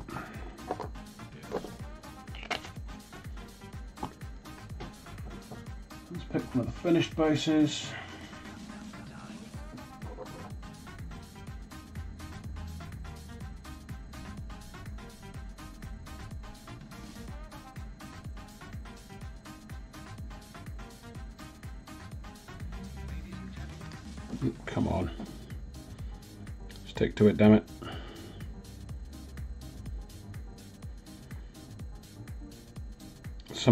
About this super glue is it isn't actually that super.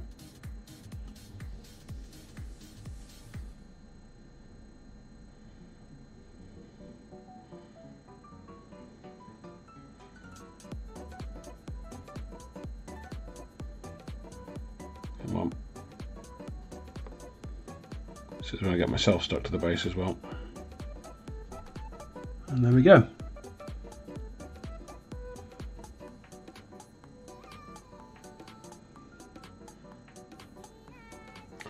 Not very super glue we're going to go with.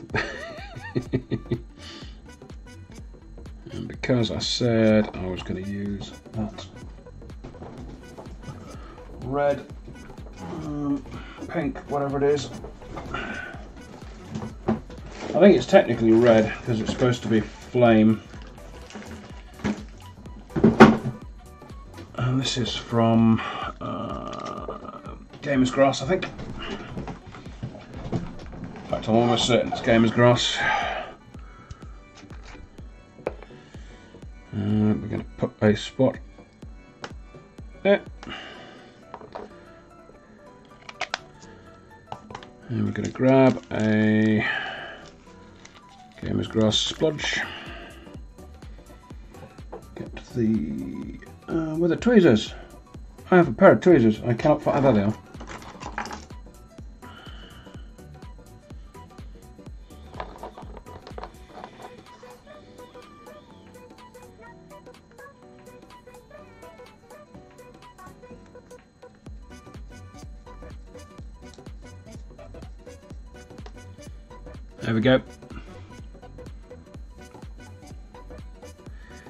And the good thing is, I'm about maybe a half away, half an hour away on the other miniatures as well, and then the entire squad's done and dusted.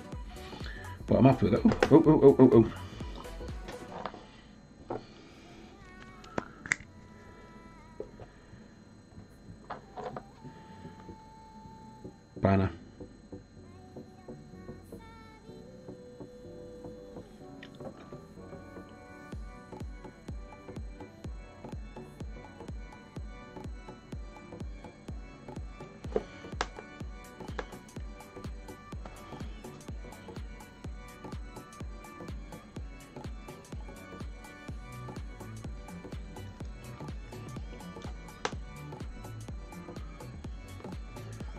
Luck, CA.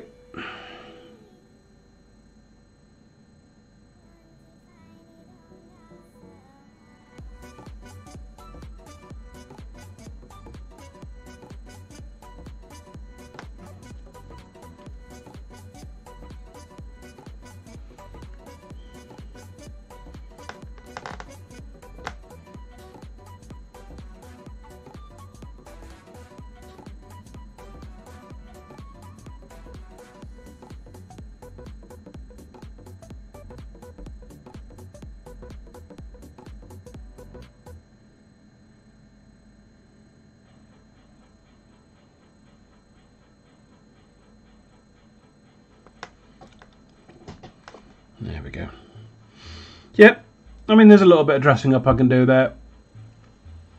Um, but, you know, that's more than okay for the tabletop. I think.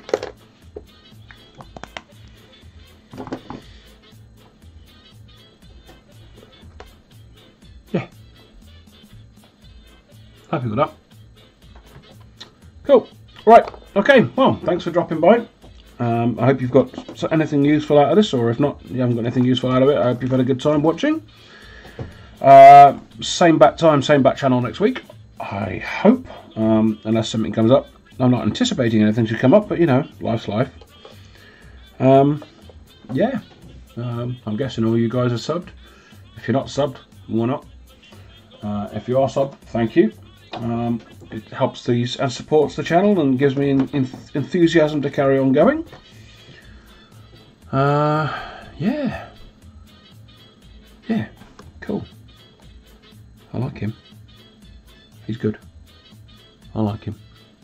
Finish off the unit and stick pictures on on Instagram. But there you go. There you go, nerd, nerd storyteller. A more or less finished miniature, start to finish. How's that for you? Don't say I never do anything for you. okay, chaps, it's been good. Uh, it's been emotional. I should catch you guys on the flip side. Thanks very much for dropping by. Ta ta for now.